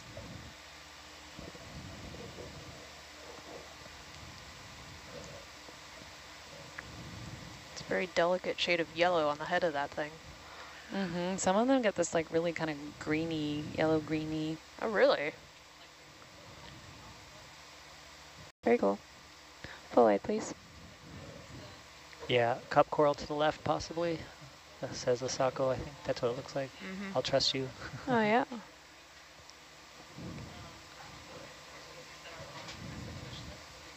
Wow. Look at that in the background. We've got more sponges. Yeah. Sea star, a couple of them. If you're curious about how big these objects are that we're looking at, uh, those two dots in the middle are 10 centimeters apart. So you can use that for a reference. Oh, that's cool on the left there. Yeah. Yeah. This guy? No, there was something the in your far on the left, port side. yeah. Purple one? The That, oh, we got that, that guy. That guy. those. Oh, yeah. Nice little stars. Looked cool from that angle. Another, I guess Yeah. that's another sac Saccocalyx maybe? Yeah, Chris was pointing out we, we did pass an unstocked crinoid earlier. There's some big sponges in the distance, too. Yeah. This might be the sponge dive you were looking for.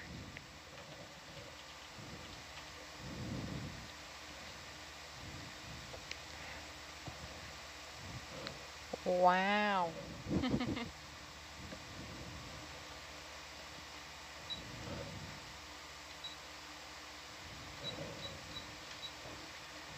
Leila, Chris concurs all the bolosomas you've been calling. Do you want to go ahead and do a partial? So Justin, I'm just checking out the pictures to look at the exposure here. Gusto Um, cam up. It looks like it's doing all Roger. right on these white, on the white, big white sponges. Great. Uh, okay, gotta go. Bridge, this is now. Full wide, please. And Safe Chris, step, please.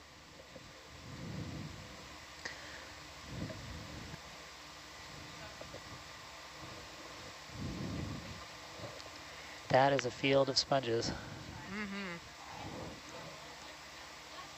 Very different distribution of uh, species than what we were seeing uh, down at King George. Also very different uh, depth.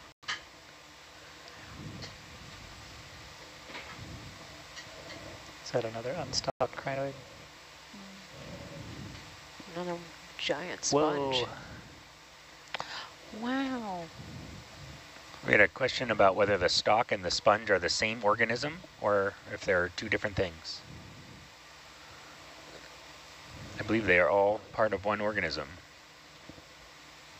That would be my thought, but I am definitely not a sponge expert. Maybe we'll have the uh, ex experts weigh in here.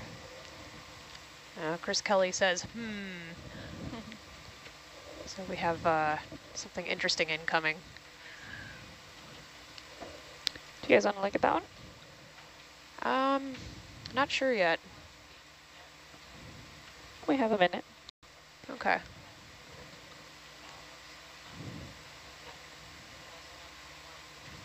Lots. Wow, it looks like a rose. it is a little pinkish, isn't it? No, I mean the one on the left, like the petals. It looks like petals of Oh, a that rose. one. Yeah. Oh, yeah. It does, doesn't it? Do we want to get a closer look at that one? Yeah, let's take a look at the rose. Yeah, just for grins. A good Valentine's There Day card, right? Oh my exactly. gosh, it would.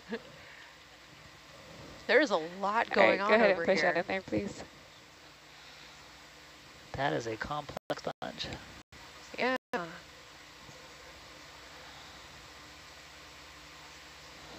That's pretty. That's yeah. cool. It really Yeah. is. All right, full white, please.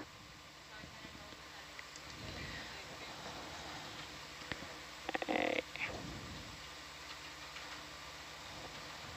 So much life. Mm-hmm.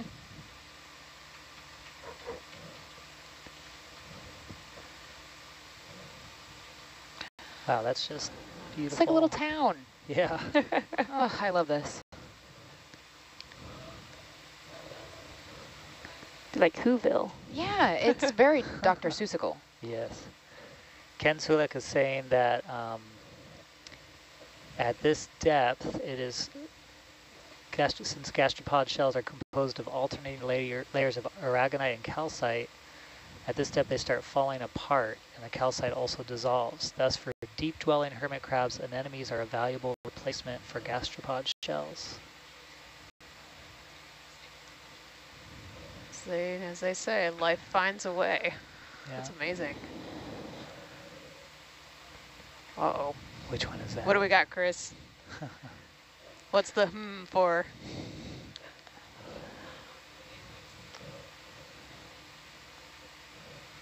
Probably for that sponge.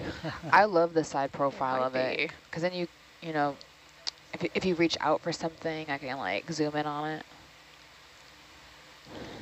So he says we might be looking at a demo sponge. That rose, Which- that rose type lumber. Demolition sponge. Sounds very yeah, intimidating. Is that the floor model? We are not finding any geology for you right now, Val. Sorry. hey, I'm along for the ride here. Just sightseeing. Is that a coral? We'll find some rocks Yeah. eventually. yeah, what is that? That one? Yeah. Yeah, the one that's like a fan with like the ripples. Sure Oh, looks cool. like it. Maybe it's a sponge, have a day job as a coral. Moonlighting. Moonlighting as a coral. All right, go ahead and push on in there, please. Do one. Oh yeah, the very, very blank coral. Wow. Mm-hmm. Get a little closer.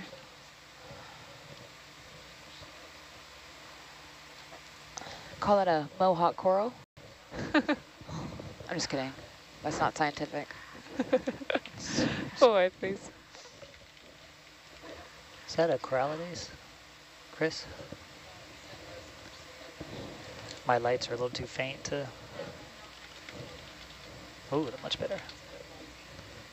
Oh, purple. I love when you see purple at the bottom of the ocean. It seems like a complete accident. It really does. Like, what business did you have making that pigment?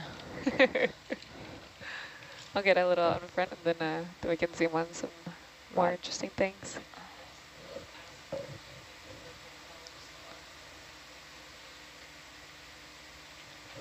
That one coral looks a lot like the Corallidae hemicorallium species uh, on the guide. Pretty sure this is not. What's our schedule Another for move, taking? same step.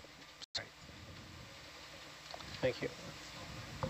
What's our schedule for taking eDNA samples on this dive? Uh, so we want to pair those with um, some manganese crust sampling. Um, we haven't found a good swimming. place to do a Yeah. grab for that just yet. So once we once we find some uh, loose rocks, that's going to be a big sampling priority. But right now we've got these lava flows that are uh, pretty pretty firmly in place, and uh, these are all attached to the seabed. So there's uh, They won't fit in the bio box. yeah that yeah. It's, Sorry, uh, Val. Oh no, it's fine. I'm just making a fun funny joke. no, I just I just didn't catch the entire thing. So Oh, Raj, Raj. yep. So yeah, it's basically rock bottom over here. Rock bottom. Wow, that's super orange.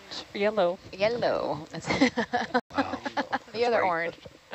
Just Okay. ah, right. Yeah. Um, Beth is reminding us that um, we should also be collecting eDNA samples in uh, high population areas. And actually, this Oh. looks like this might be a really good place to pull an iskin.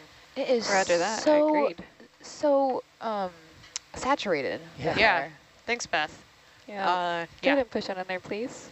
I think a little too much about the rocks sometimes. All the time. Look at that yellow. Yeah, that's stunning. Are stunning. those zoanthids covering coral?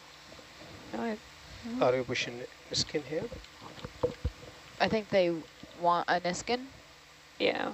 Yeah, you want to go ahead. So, so. Kylie, you want to do the Niskin in the hot sec? Sure, sure. Are All we gonna pull wide, please. I'm going to just continue up.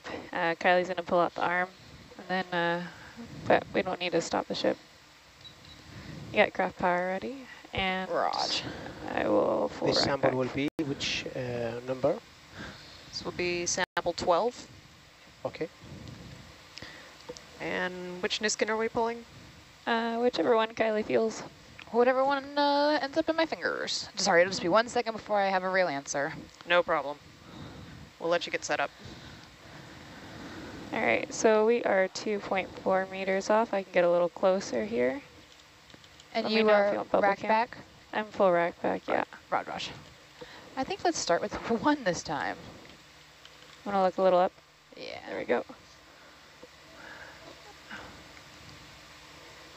You got bubble. Okay.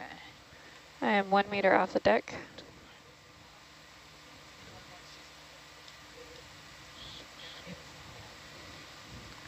Index.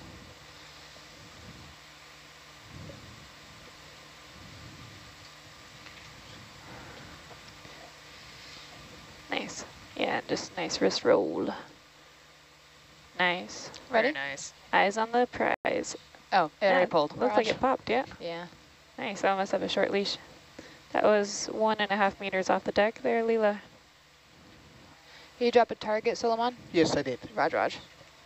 Zero one two, right? I'm gonna move ahead. The number should be one three eight dash zero one two. Leila. Nice. Uh, s- Chris is wondering if we can zoom the fish. Uh, Chris, sorry, we're a bit behind. Uh, Herc is a bit behind the Argus, so we'll push ahead and we'll find another fish for you.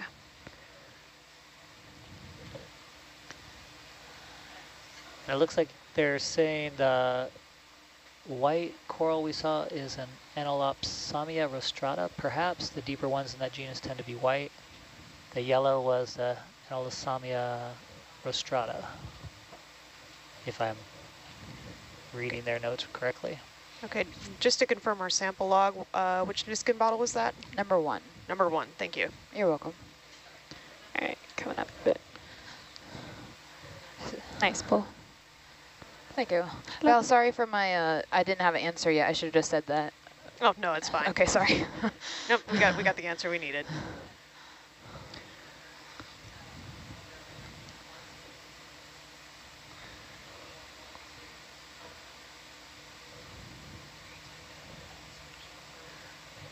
The scientists ashore are doing a little uh, looking up through their guides because that one macrourid we were looking at, the eel-like fish, had a very high uh, dorsal fin, which is a little unusual.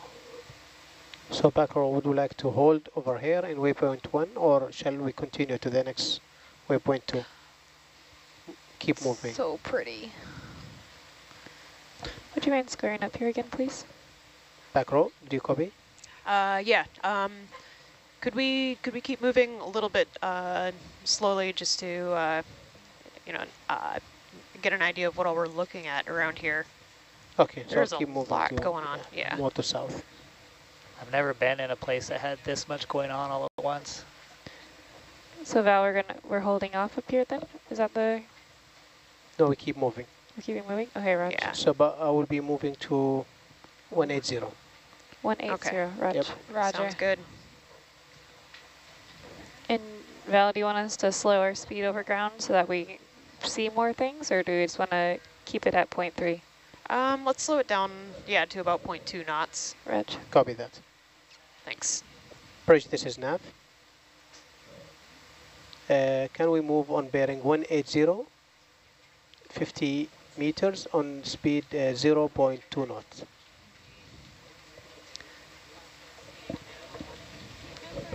Yes, uh, 0.2 knot. One eight zero. Yes, please. I think you said one zero eight meter. One zero eight. No, I 180. think that was. Yeah, I think he repeated back to you one zero eight. Yep. Reg. Great, thank you. For just a second. Yeah, go ahead. So I'm starting to see some samples that look are starting uh, some Thank you, samples that are looking a little looser. Thanks. So we'll uh, keep an eye out for a good place to sample that isn't going to disrupt uh, these communities. Great. Looks like there's another big sponge coming our way via that Oh, sure Atalanta Oh, view. yeah. Oh, wow. Some corallids. Data, this is nav. Carly, mind coming up a bit on the winch there? Data, this is nav. Oh, there's another one for you, Chris.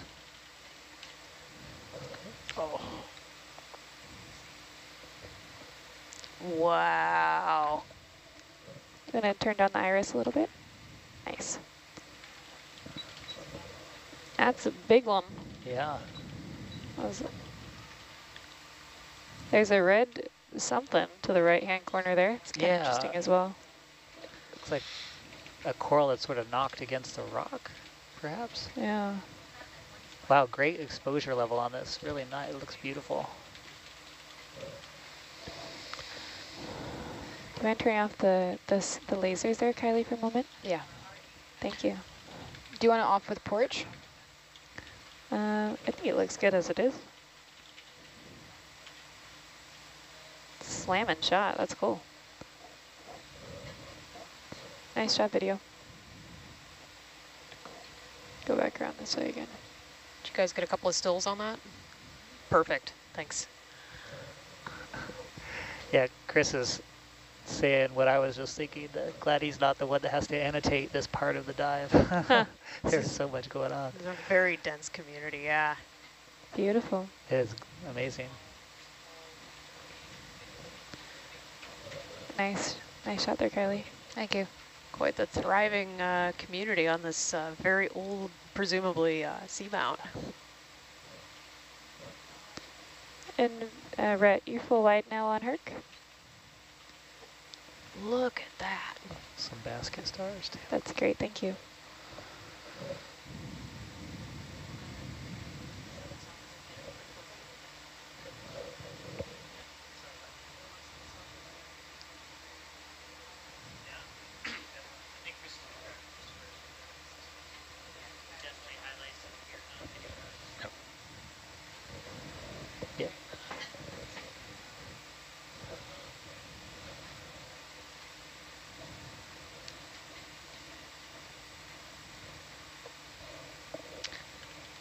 Here's our another little fish for us Wow. amongst all the incredible colors. Yeah. We got a whole rainbow going here. Oh my gosh. Oh, so pretty. I've, I mean, of all the cruises I've been on, I've never seen a landscape like this one, you know? Yeah, Yeah. that's very true. It's beautiful. Yeah. None of it's very tall, which is kind of interesting. They must be getting what they need lower down. How competitive do you think they are for resources around here? Because I'm seeing what looks like a lot of uh, skeletal material too. Fish. Yeah, we've been following that Okay, one we've been around. Following that one? Okay. It's blending in. I must not have seen it. Spending too much time looking at the rocks. Val, I appreciate that you're still looking at the rocks, even though we're amongst all these beautiful sponges and corals. There's a lot to look at. Again, part of my brain is still like constantly on the lookout for something we can grab. Right.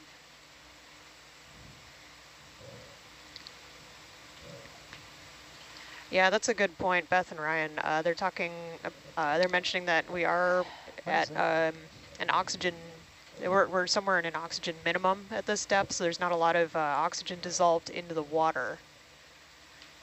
So we're kind of at the base of that oxygen minimum Yeah. zone.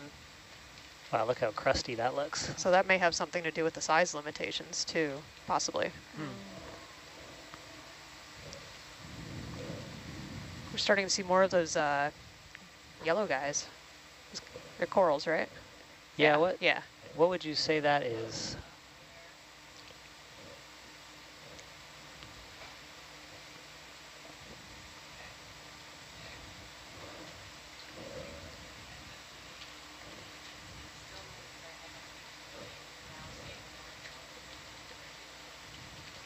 That was a pretty abrupt change. Lila, what are you calling that coral? The yellow.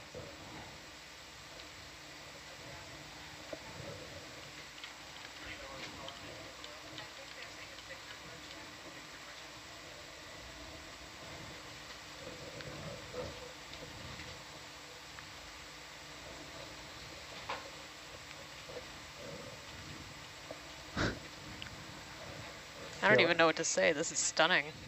Yeah. Would you guys like the lasers back on? Um, yeah. Let's get an idea of how Go big ahead, these Bridge. are.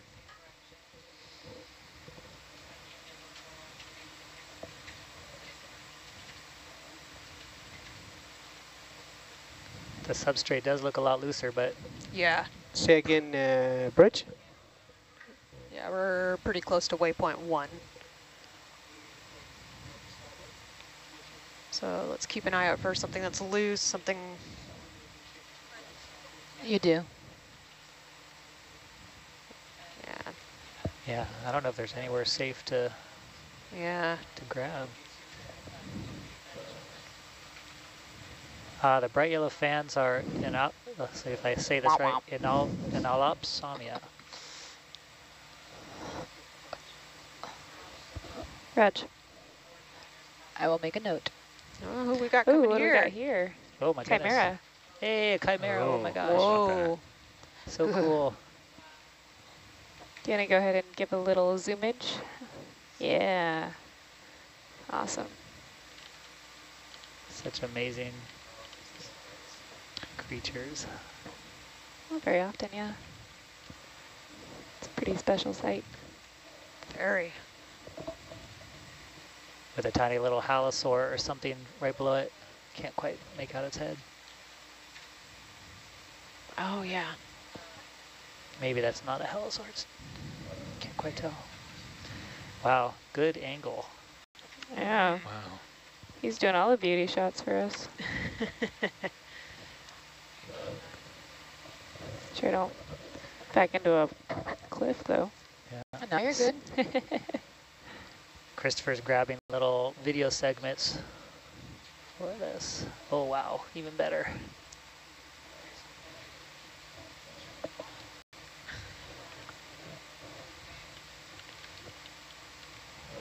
All right, so we have a request um, at the next opportunity uh, to zoom light, in on the. we keep uh, moving the same, one eight uh, Sorry, go ahead, Val.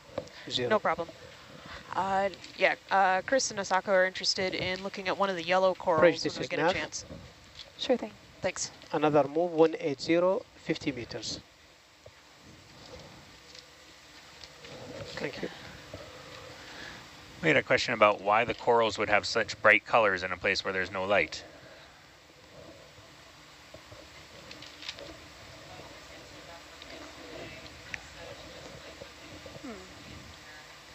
I think they're asking the wrong room. Yellow corals. We want to zoom you? yeah, I think one of these. Which one? Which one? Pick one. You've got 800. the Um, really, really bright one up yeah, yonder. I'm not sure. Yeah, do you guys want the really highlighter yellow or do you want the pastel yellow? I think they want the, the pastel yellow to start with. Mellow Raj. yellow, Raj. Hello, yellow. But if they want to look at the bright yellow one, we Thank might you, be able to do that too. Raj. I'll get myself parked here. Set ourselves up nicely here. Yeah, so um, the the colors that you see on some of these animals All right, is go ahead and push on in there, please. um, it doesn't serve any uh, evolutionary advantage or disadvantage. It's Oh. just um, it, it's just uh, some pigment that is uh, in in the uh, I am not coming up with the right word. It's uh, it's just part of their pigmentation. Yep. Kyle, you want to rack back a little bit on the Yeah. pan and tilt? On this guy, yeah. You can got push in a little bit tighter there now. Retract a smidgen. And I should uh, clarify, Asako had actually, I didn't finish saying what she had ID'd. Thank so you. the um, you got it. Go ahead, go ahead and push on in a bit there, please, right? she's saying that the less bright yellow uh, coral fans are actually octocorals, Oh. but the bright yellow fans are the enal Enallopsammia corals. Do you guys need to tie it on the polyp uh, for proper ID? You want to go ahead and full on in there, please, right? Oops, sorry. Maybe that's all we got. Is that the full one? Okay, Reg. cool. Thank you. All right, is that good for folks on shore? I think so. Roger that. Full wide, please. They have a bit of a delay, so they can't really um, tell us right away, I think. But Ooh, let's let's take a. Do you guys want to look at this pretty guy or no? which one? Yeah, let's do it. Center screen. You want to push on in there, please Yeah. again. I'll do a slight pan to the right. It's gonna be bouncy for a sec. Okay, uh, Sako is interested in the uh, deep red fans too. I think I saw one uh, toward the right, lower right of the screen uh, when we're zoomed out.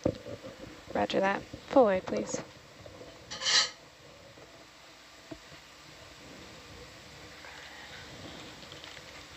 Lower right. Oh, I see. Yeah. It's behind us. Um, oh yeah, that might be a difficult angle to get.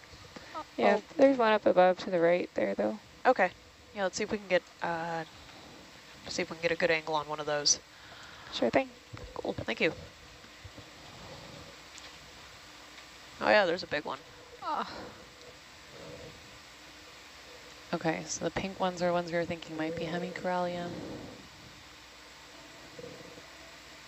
Do you think there's equal amount of coral to sponges? Or s- are you I think sensing this is that really sponge heavy, although we did go more through that patch that had quite a few of those acanthogorgids. Or Wait, is there a name for a group of sponges All or right, go no? ahead and push on in. I feel like a we always sink. call them gardens. Is It's it like really? a bathtub of sponges? a sink Come of a little sponges. wide there, please. Oh, look at that. Um, that's, That's a different good kind there. of sponge than what we've been seeing. right. Looks like it has a like a brittle Oh, star. this almost Yeah, I'm an looks like associate. a paragorgid. Sorry, one more bump. Then you guys don't. There no you go. problem. That is beautiful. Yeah. Huge basket star in there. Yeah. Mm-hmm. Euryalid. A couple more cup corals behind it.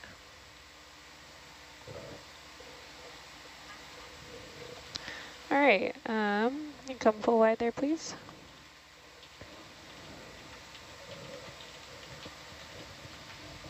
Take that.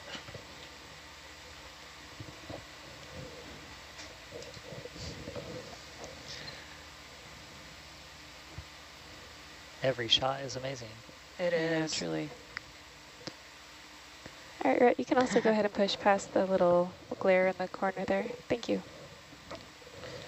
We had a question about, do we ever put a UV light on Herc to see what things might have different colors under UV? Ooh. Um,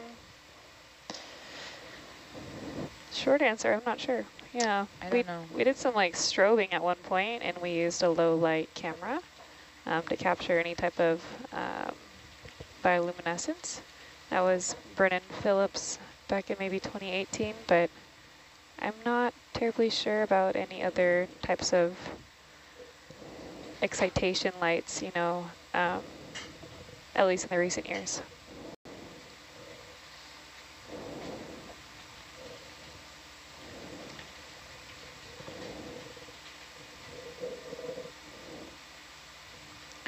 The texture of these rocks are really fascinating. About does that just mean that it's a newer lava flow? I don't know. Sorry.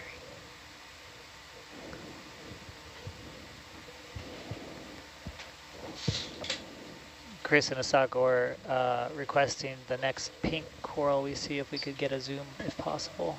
Sure thing.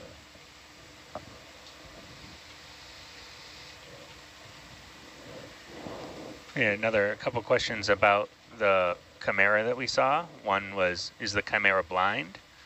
And another one was uh, whether our lights affect the eyes of fish down here.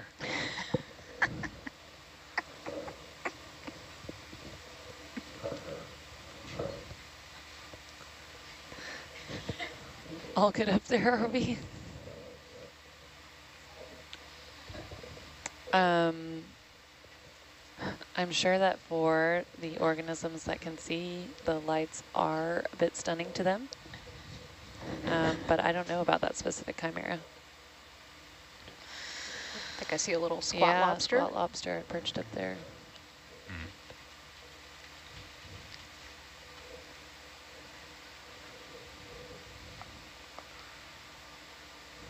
Brisingids. Ken Sulak was saying yellow is ideal for absorbing blue light. No sunlight survives below 1100 meters, but bioluminescent organisms emit blue light that can excite fluorescence. So if the ROV was equipped with appropriate light and the cameras with appropriate filters, you could, you may find that these yellow corals fluoresce, and that fluorescence may actually serve a purpose. We can't, we can't see it, but animals can. So there may be an advantage in being yellow, also orange, pink, or red.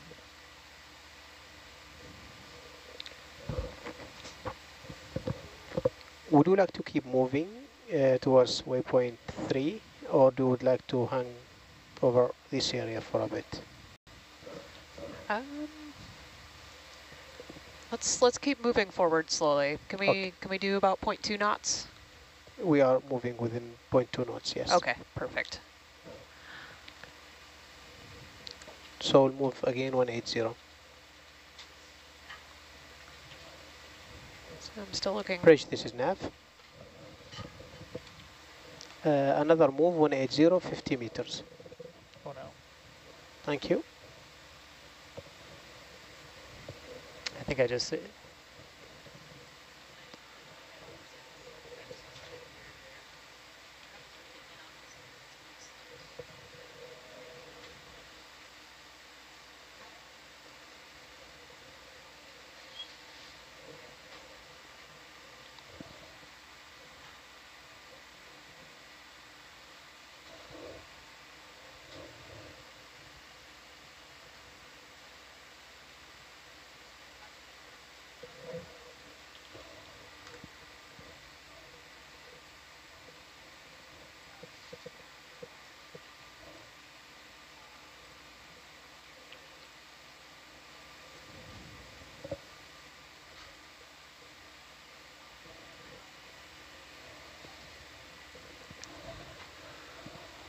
So we're finding a lot of biology on this dive. Uh, you may be wondering why we're not stopping for everything. Well, uh, our main focus right now is actually on the rock uh, samples that we are looking for in terms of sampling. We're trying to get as much video of the biological specimens as possible, but um, one of our key objectives is uh, sampling of the rocks both for biological and geological uh, sample information.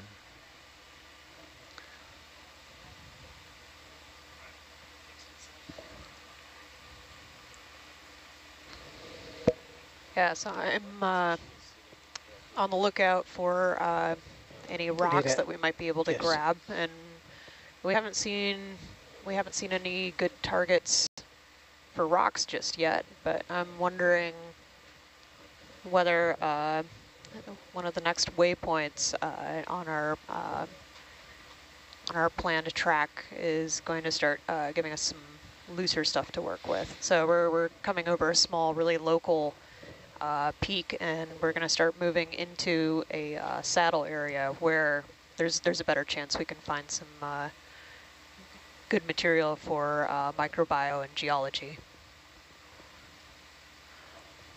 It looks like the uh, species distribution has changed again, back to what, mainly sponges? Yep, at the moment. Yep. Val, you notice all those little pockets in the lava? Mhm. Wh- What would that be? Minerals that eroded out sooner, or what? What would cause those, or just air bursts? Or Like some of those little pukas? yeah.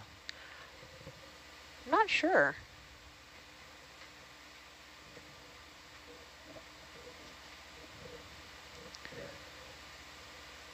We passed another one of those fun eel-like fishes. I didn't get a good look at it. Aren't, aren't those rat tails? Or She's not listening. Its tail seemed a little more blunted than a rat tail, but Oh, I- retch. That may have something to do with uh, just how, how the manganese uh, crust is growing. Those just might be areas where it hadn't grown in yet. I don't Oh. know. I don't know if there. I don't know about What was that? animals that? can burrow into those holes or not. But that stuff, because that crust is pretty tough. Wait, hold on. Uh, you want to give a shout out? Yeah, I'd imagine so.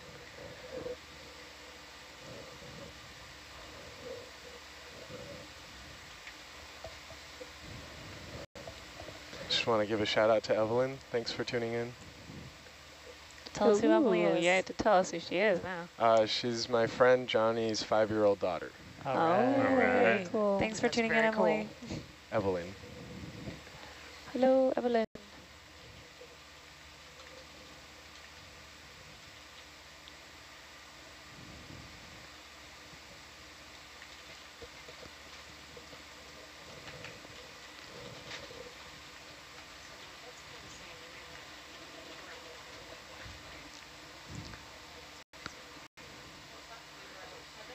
Oh, yeah.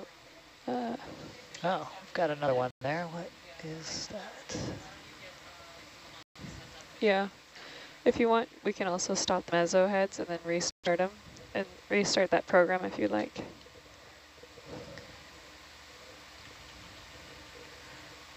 What's that big red thing coming up on the right? I think it Oh. might be an anemone. That is big. Mind throwing the lasers on? Yeah, sure. Uh, Suleiman, just for um, planning in the next few minutes, um, as we approach waypoint three, it's in a saddle area, and that might be a neat place to uh, stop and kind of uh, look around for a little bit longer. Good. Uh, Okay. Really quick zoom For the there. Rhett. waypoint three, right? Yeah, once we hit waypoint three. Excellent. Nice. Yeah. Thank you. Copy that. Thanks. That is pretty big. Yeah. That is, yeah, that's very big.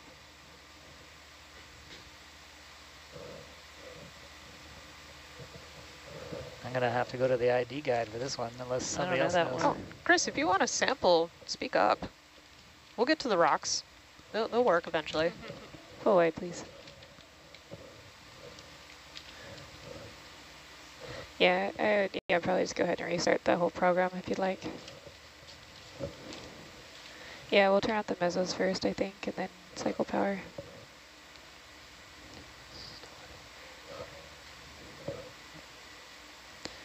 Is that one of those Actinostolidae? I always say it wrong, but scientists can help me. Reg.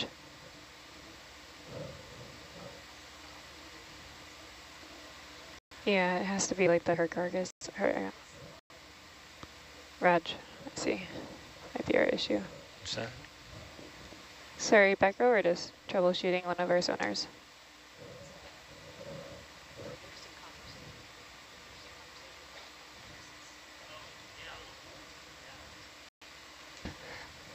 My goodness, look at that. It's just uh, patch packed.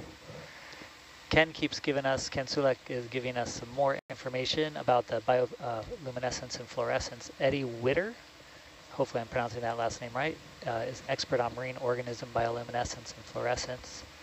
And uh, Ken is saying that he ran into, ran one ocean exploration cruise that showed a lot of organisms fluorescing in deep water.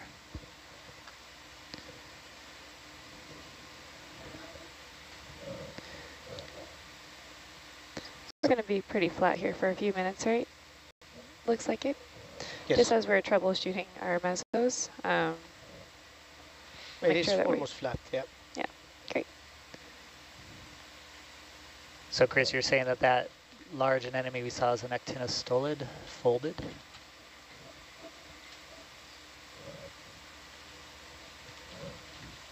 uh, Raj. And Ken gave us some nice info on the Chimera, which I'll try to share in between. We'll keep moving same, 180. Um, Don't wait. yeah, you want to stand by for a minute? I want to get the mesos back up there. Reg. Uh, uh, thank you. All right, both should be on.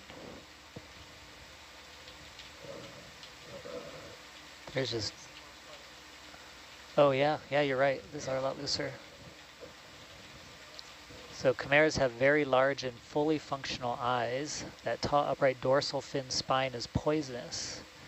Uh, Ken was say, asking us to notice that they normally hold the long uh, tail straight and swim instead with their pectorals beating like wings.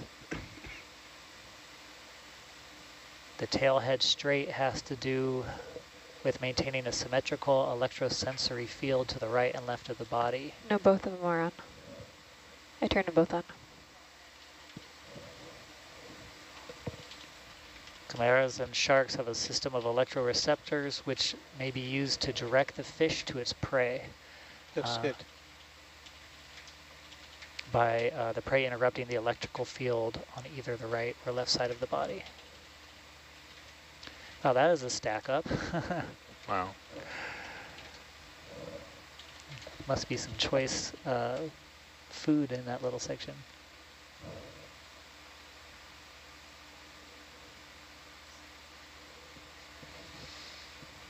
All right, so I'm starting to see uh, some signs of rocks uh, being a little easier to grab. So as we approach the saddle area, so I'm on the lookout for a good place to put down and get one of those.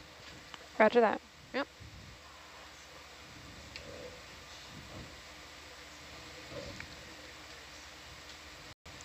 So I'll bet we'll find some, I- have a feeling we'll find some good uh, I think that's sample okay. sites It's near the the gain is a little hot. Oh, sorry. Go ahead. No worries. Um, yeah, I think we'll, I have a feeling we're going to find Roger. something workable in the saddle area.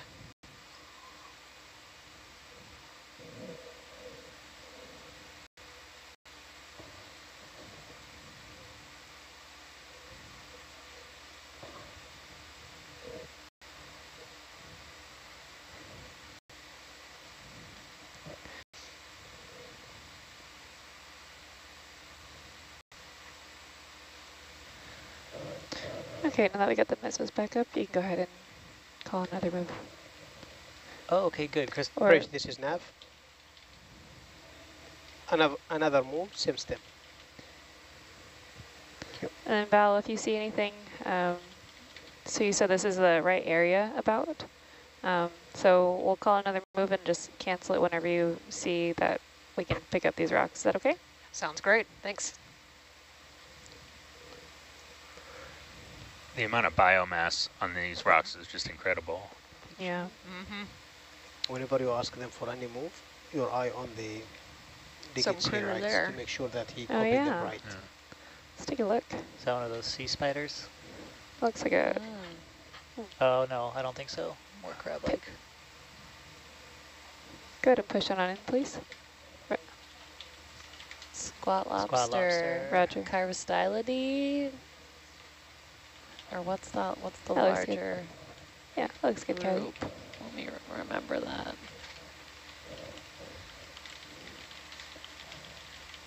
Thank you for troubleshooting that.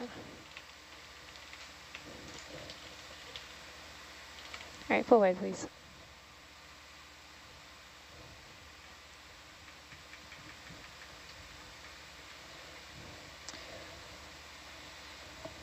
See anything loose in there? It's still kind of dense though, isn't it? Mm-hmm. Yeah, but we also don't want rocks that are too covered in biological stuff.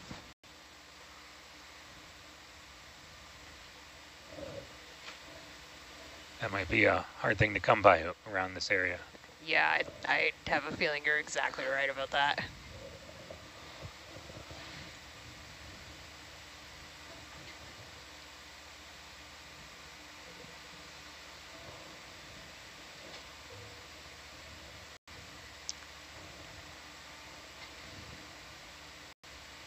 So are we seeing more of those sponges that have the unusually short stalks that uh, came up in chat earlier?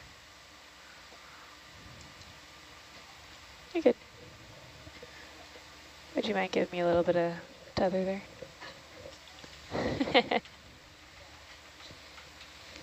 There's another fun little squat lobster crab right there. Just for fun.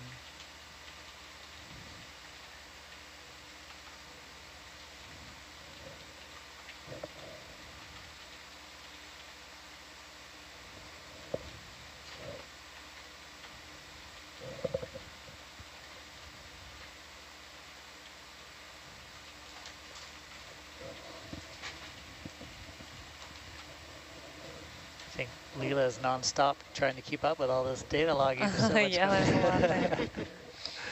Mostly, mostly we've been seeing similar stuff, so I haven't been ha having to go too crazy, but I am trying to keep track of what people in the chat are mentioning some of the more specific stuff that we've been seeing is Mm-hmm.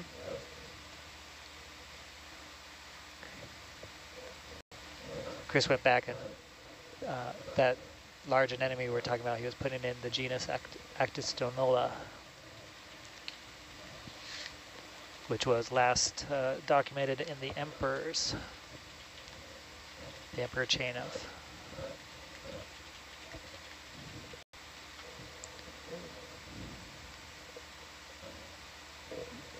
which is not too far from where we are now, so far north and uh, west in, Yeah. yeah.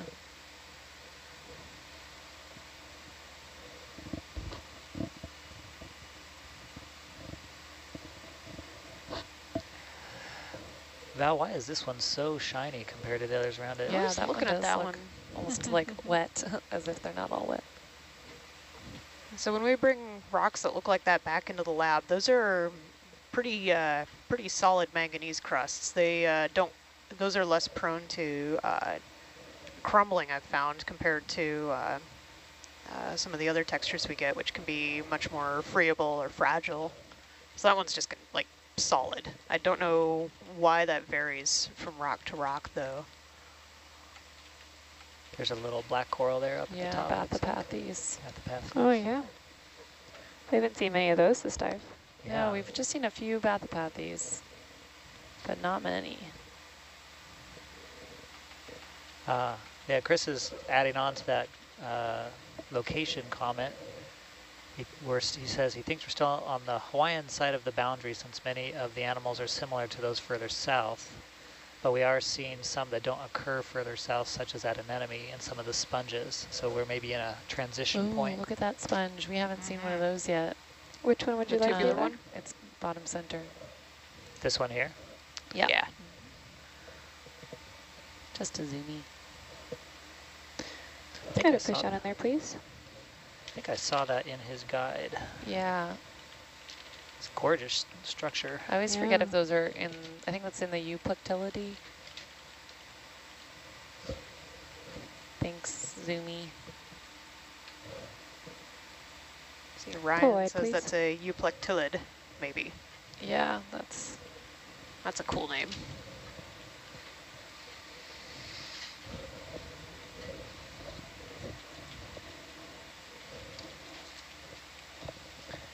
Yep.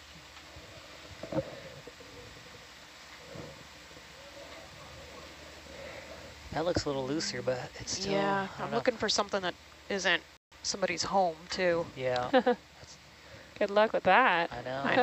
Yeah. That's gonna be really hard. So yeah, I wonder, we're like right on the ridge. I mean, I don't know if you want to go too far anywhere, but I wonder if like off to the side of the ridge it's less, there's less fauna. No idea. maybe. But you think the looser rocks are going to all be up top on the saddle, right? Otherwise it would kind of fall down that slope. Yeah, yeah, we might find some looser stuff there.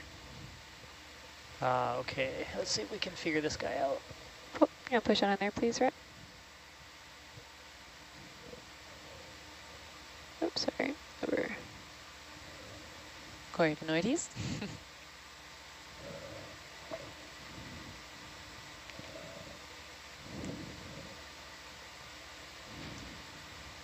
Looks like I got a little shrimp on the far left of the screen, just hanging out in his little cave.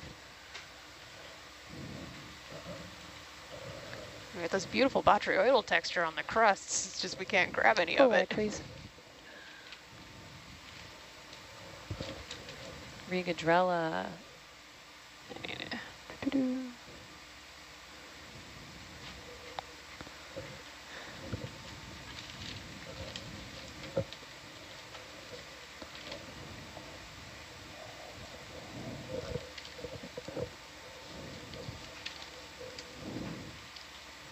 Oh, wait, I have it up here, don't I?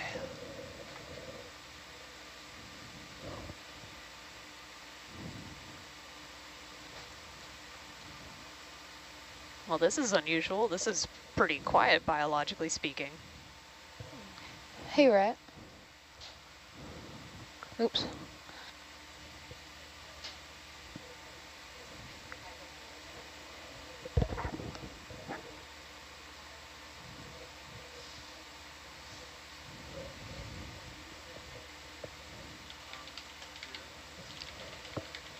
Bridge, this is nav.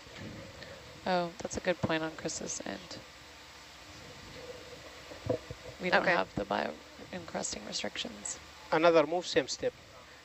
Yeah, that's okay. Yeah, that's Thank fair. Just trying to err on the side of caution Yeah. too. It's like I don't like the idea of just like setting down in the middle of a big Oh, community yeah, no, either. totally. Yeah. That's just not cool. This is the first time for me seeing all these vase sponges. They're really cool. Thank you. And they have like along the top these like really intricate, thin, spindly spicules that kind of almost like might be the cover that top of that base. At least the Regadrella Will do. be s- Going holding up. position. Roger that. Good. Yeah, if we find something that looks pretty loose around here, this is going to be where we're going to go for it.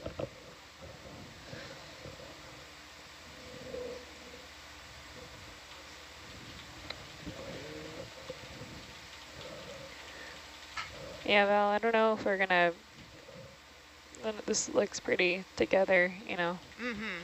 So we can try poking around. Maybe there's some fractured piece somewhere, but um, yeah.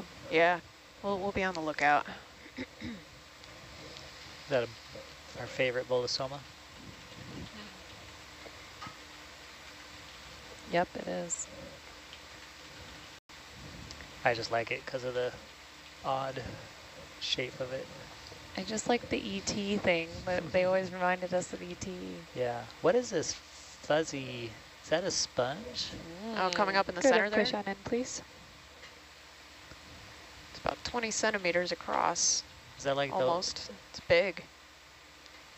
That's Is that like the Walterius kind of stuff? No, I have no idea. I don't know. It's, uh, got any more zoom there, Rhett? try to get you a steady oh, yeah, shot. That's helpful. It does look spongy because of that scent, what it has in the center. That yeah. looks very distinctly spongy, but I have no idea which one that is. I'm going to wait to hear what the yeah. folks ashore say. Full wide, please.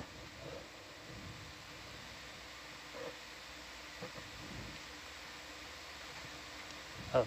Ooh. Ken gave us a little more info on chimeras as well. I'll share in a bit. What is that? Hmm, this might be a good place to poke around. Um, Yeah, looks like it. That's probably big, but we can see if it's loose. Maybe Oh. something here. Yeah, okay. Oh yeah, that's a lot bigger than we want. Uh, scratch that. Raj, Raj. I will hold position here. Yeah, please. Bridge, this is nav. Hold position here, please. Thank you. You see, does that look loose to you? Might be. Might not be. That does, but I'm not. That's big, It's 20, 25 centimeters. at least. Beth likes it, this spot. Uh, yeah, I agree, Beth. Yeah, let's let's poke around here and see if we can find something to pick up. Sure thing. Ooh, look at that basket star up there. Wow. Sure Oh, thing. You're not joking. Um, all right. Yeah, we can sit down. Awesome. This sponge in front of the porch has a associate in the middle? Oh yeah, good eye. Or- Talking about over here. yeah, exactly. Oh, nice. What Maybe are you? squatties. Oh, a condo. Totally. All right. I only have a toe on here because I don't want to sit on anything. So Kylie, you want to grab out that minute? Roger. Here come the pros. Yeah, balancing like this is uh, that's uh, that takes a lot of technique to to Are we grab. full wide, please?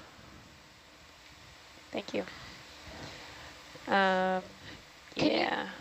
Jeez Louise. I'm going to turn off that porch light for a minute there. Raj. Gonna iris open a bit. Can you telestrate for what you think is a, maybe a good bet? Uh, sure. So this one might be a candidate if it's loose, and then the one where you have the lasers on it just above it, Raj. that's another potential candidate, I think, Okay. unless it's stuck. Okay. Um, can you rack forward? I'll do a little pop, but I don't want to go too far forward. Raj. Can we zoom a little bit? That's good. Nice. Uh, I think your grip force might be like four right now.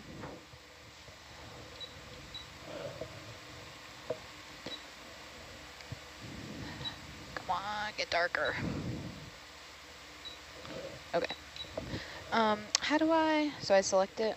Yeah, so select grip force, and then you probably want like a nine. Yep. Nine. Raj. Okay.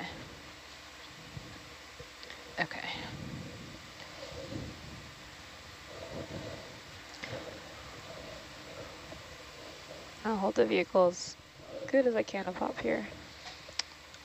So Chris Kelley just confirmed for us that the sponge we were looking at is uh, Nice. Farrea occa, Can you try rotating?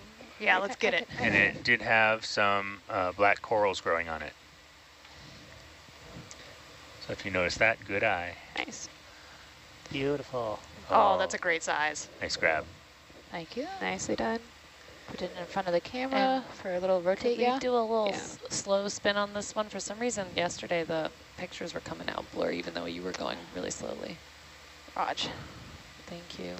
Val, are you thinking this one for you or for Beth? Uh, this one's a little more, a little bit more Okay. angular. Um, I haven't seen any uh, obviously loose I botryoidal samples. Do you want to center it up, and then we'll get Yeah, I had, Yeah. To, I had to index it. Roger that. Can you zoom a little? That's good. So sorry, uh, back row, where are we going to go with this guy? Um, over to starboard side, right? It's for you, Val? Stab it. Uh, yes. Yep. Roger that. That's going to be 013, right? Zero one three, correct? Oh, we had a question about whether these structures could be uh, hollow. It's all or nothing with the. That's great. Thank you, okay, Kylie. sorry, Leila. No, you're good. I got Full it. There way, were nice little pauses in between. Okay, Beth's saying something, so Oh, sorry. um, I'll give her Okay. a second to get the message up here. Is that a halt on putting it away? Is- Yeah, let's just hold it for a couple seconds. Roger, roger, Roger roger. that.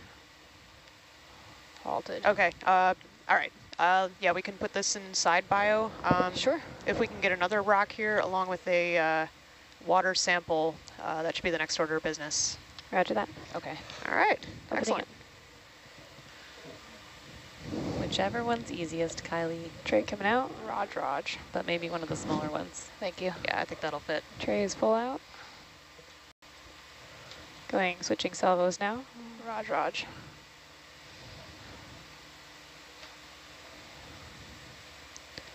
No.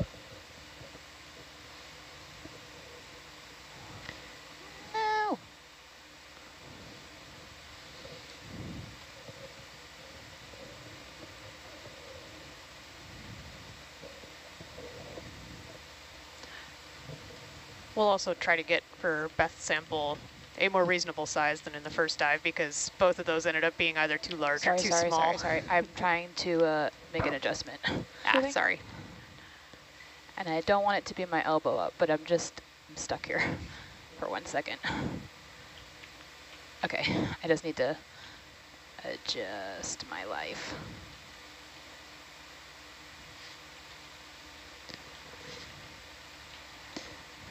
I just want to elbow down without dropping the thing in anywhere. So I just wanted to make an adjustment in my in my real life. Sure. Yeah, maybe try aiming for A there. Yeah, Like resting your, I, I can. I gotcha. yeah.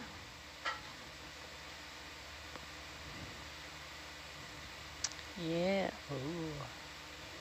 Open. Nice. Nice. All Nicely right. done. Sorry, sorry, Nice. sorry. Get out of there. Just do. If you just wrist over, yeah, that works too. Coming in. Okay.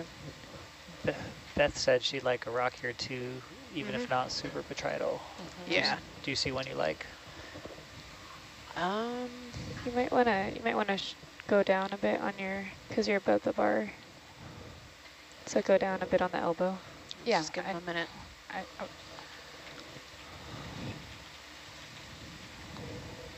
Switching over.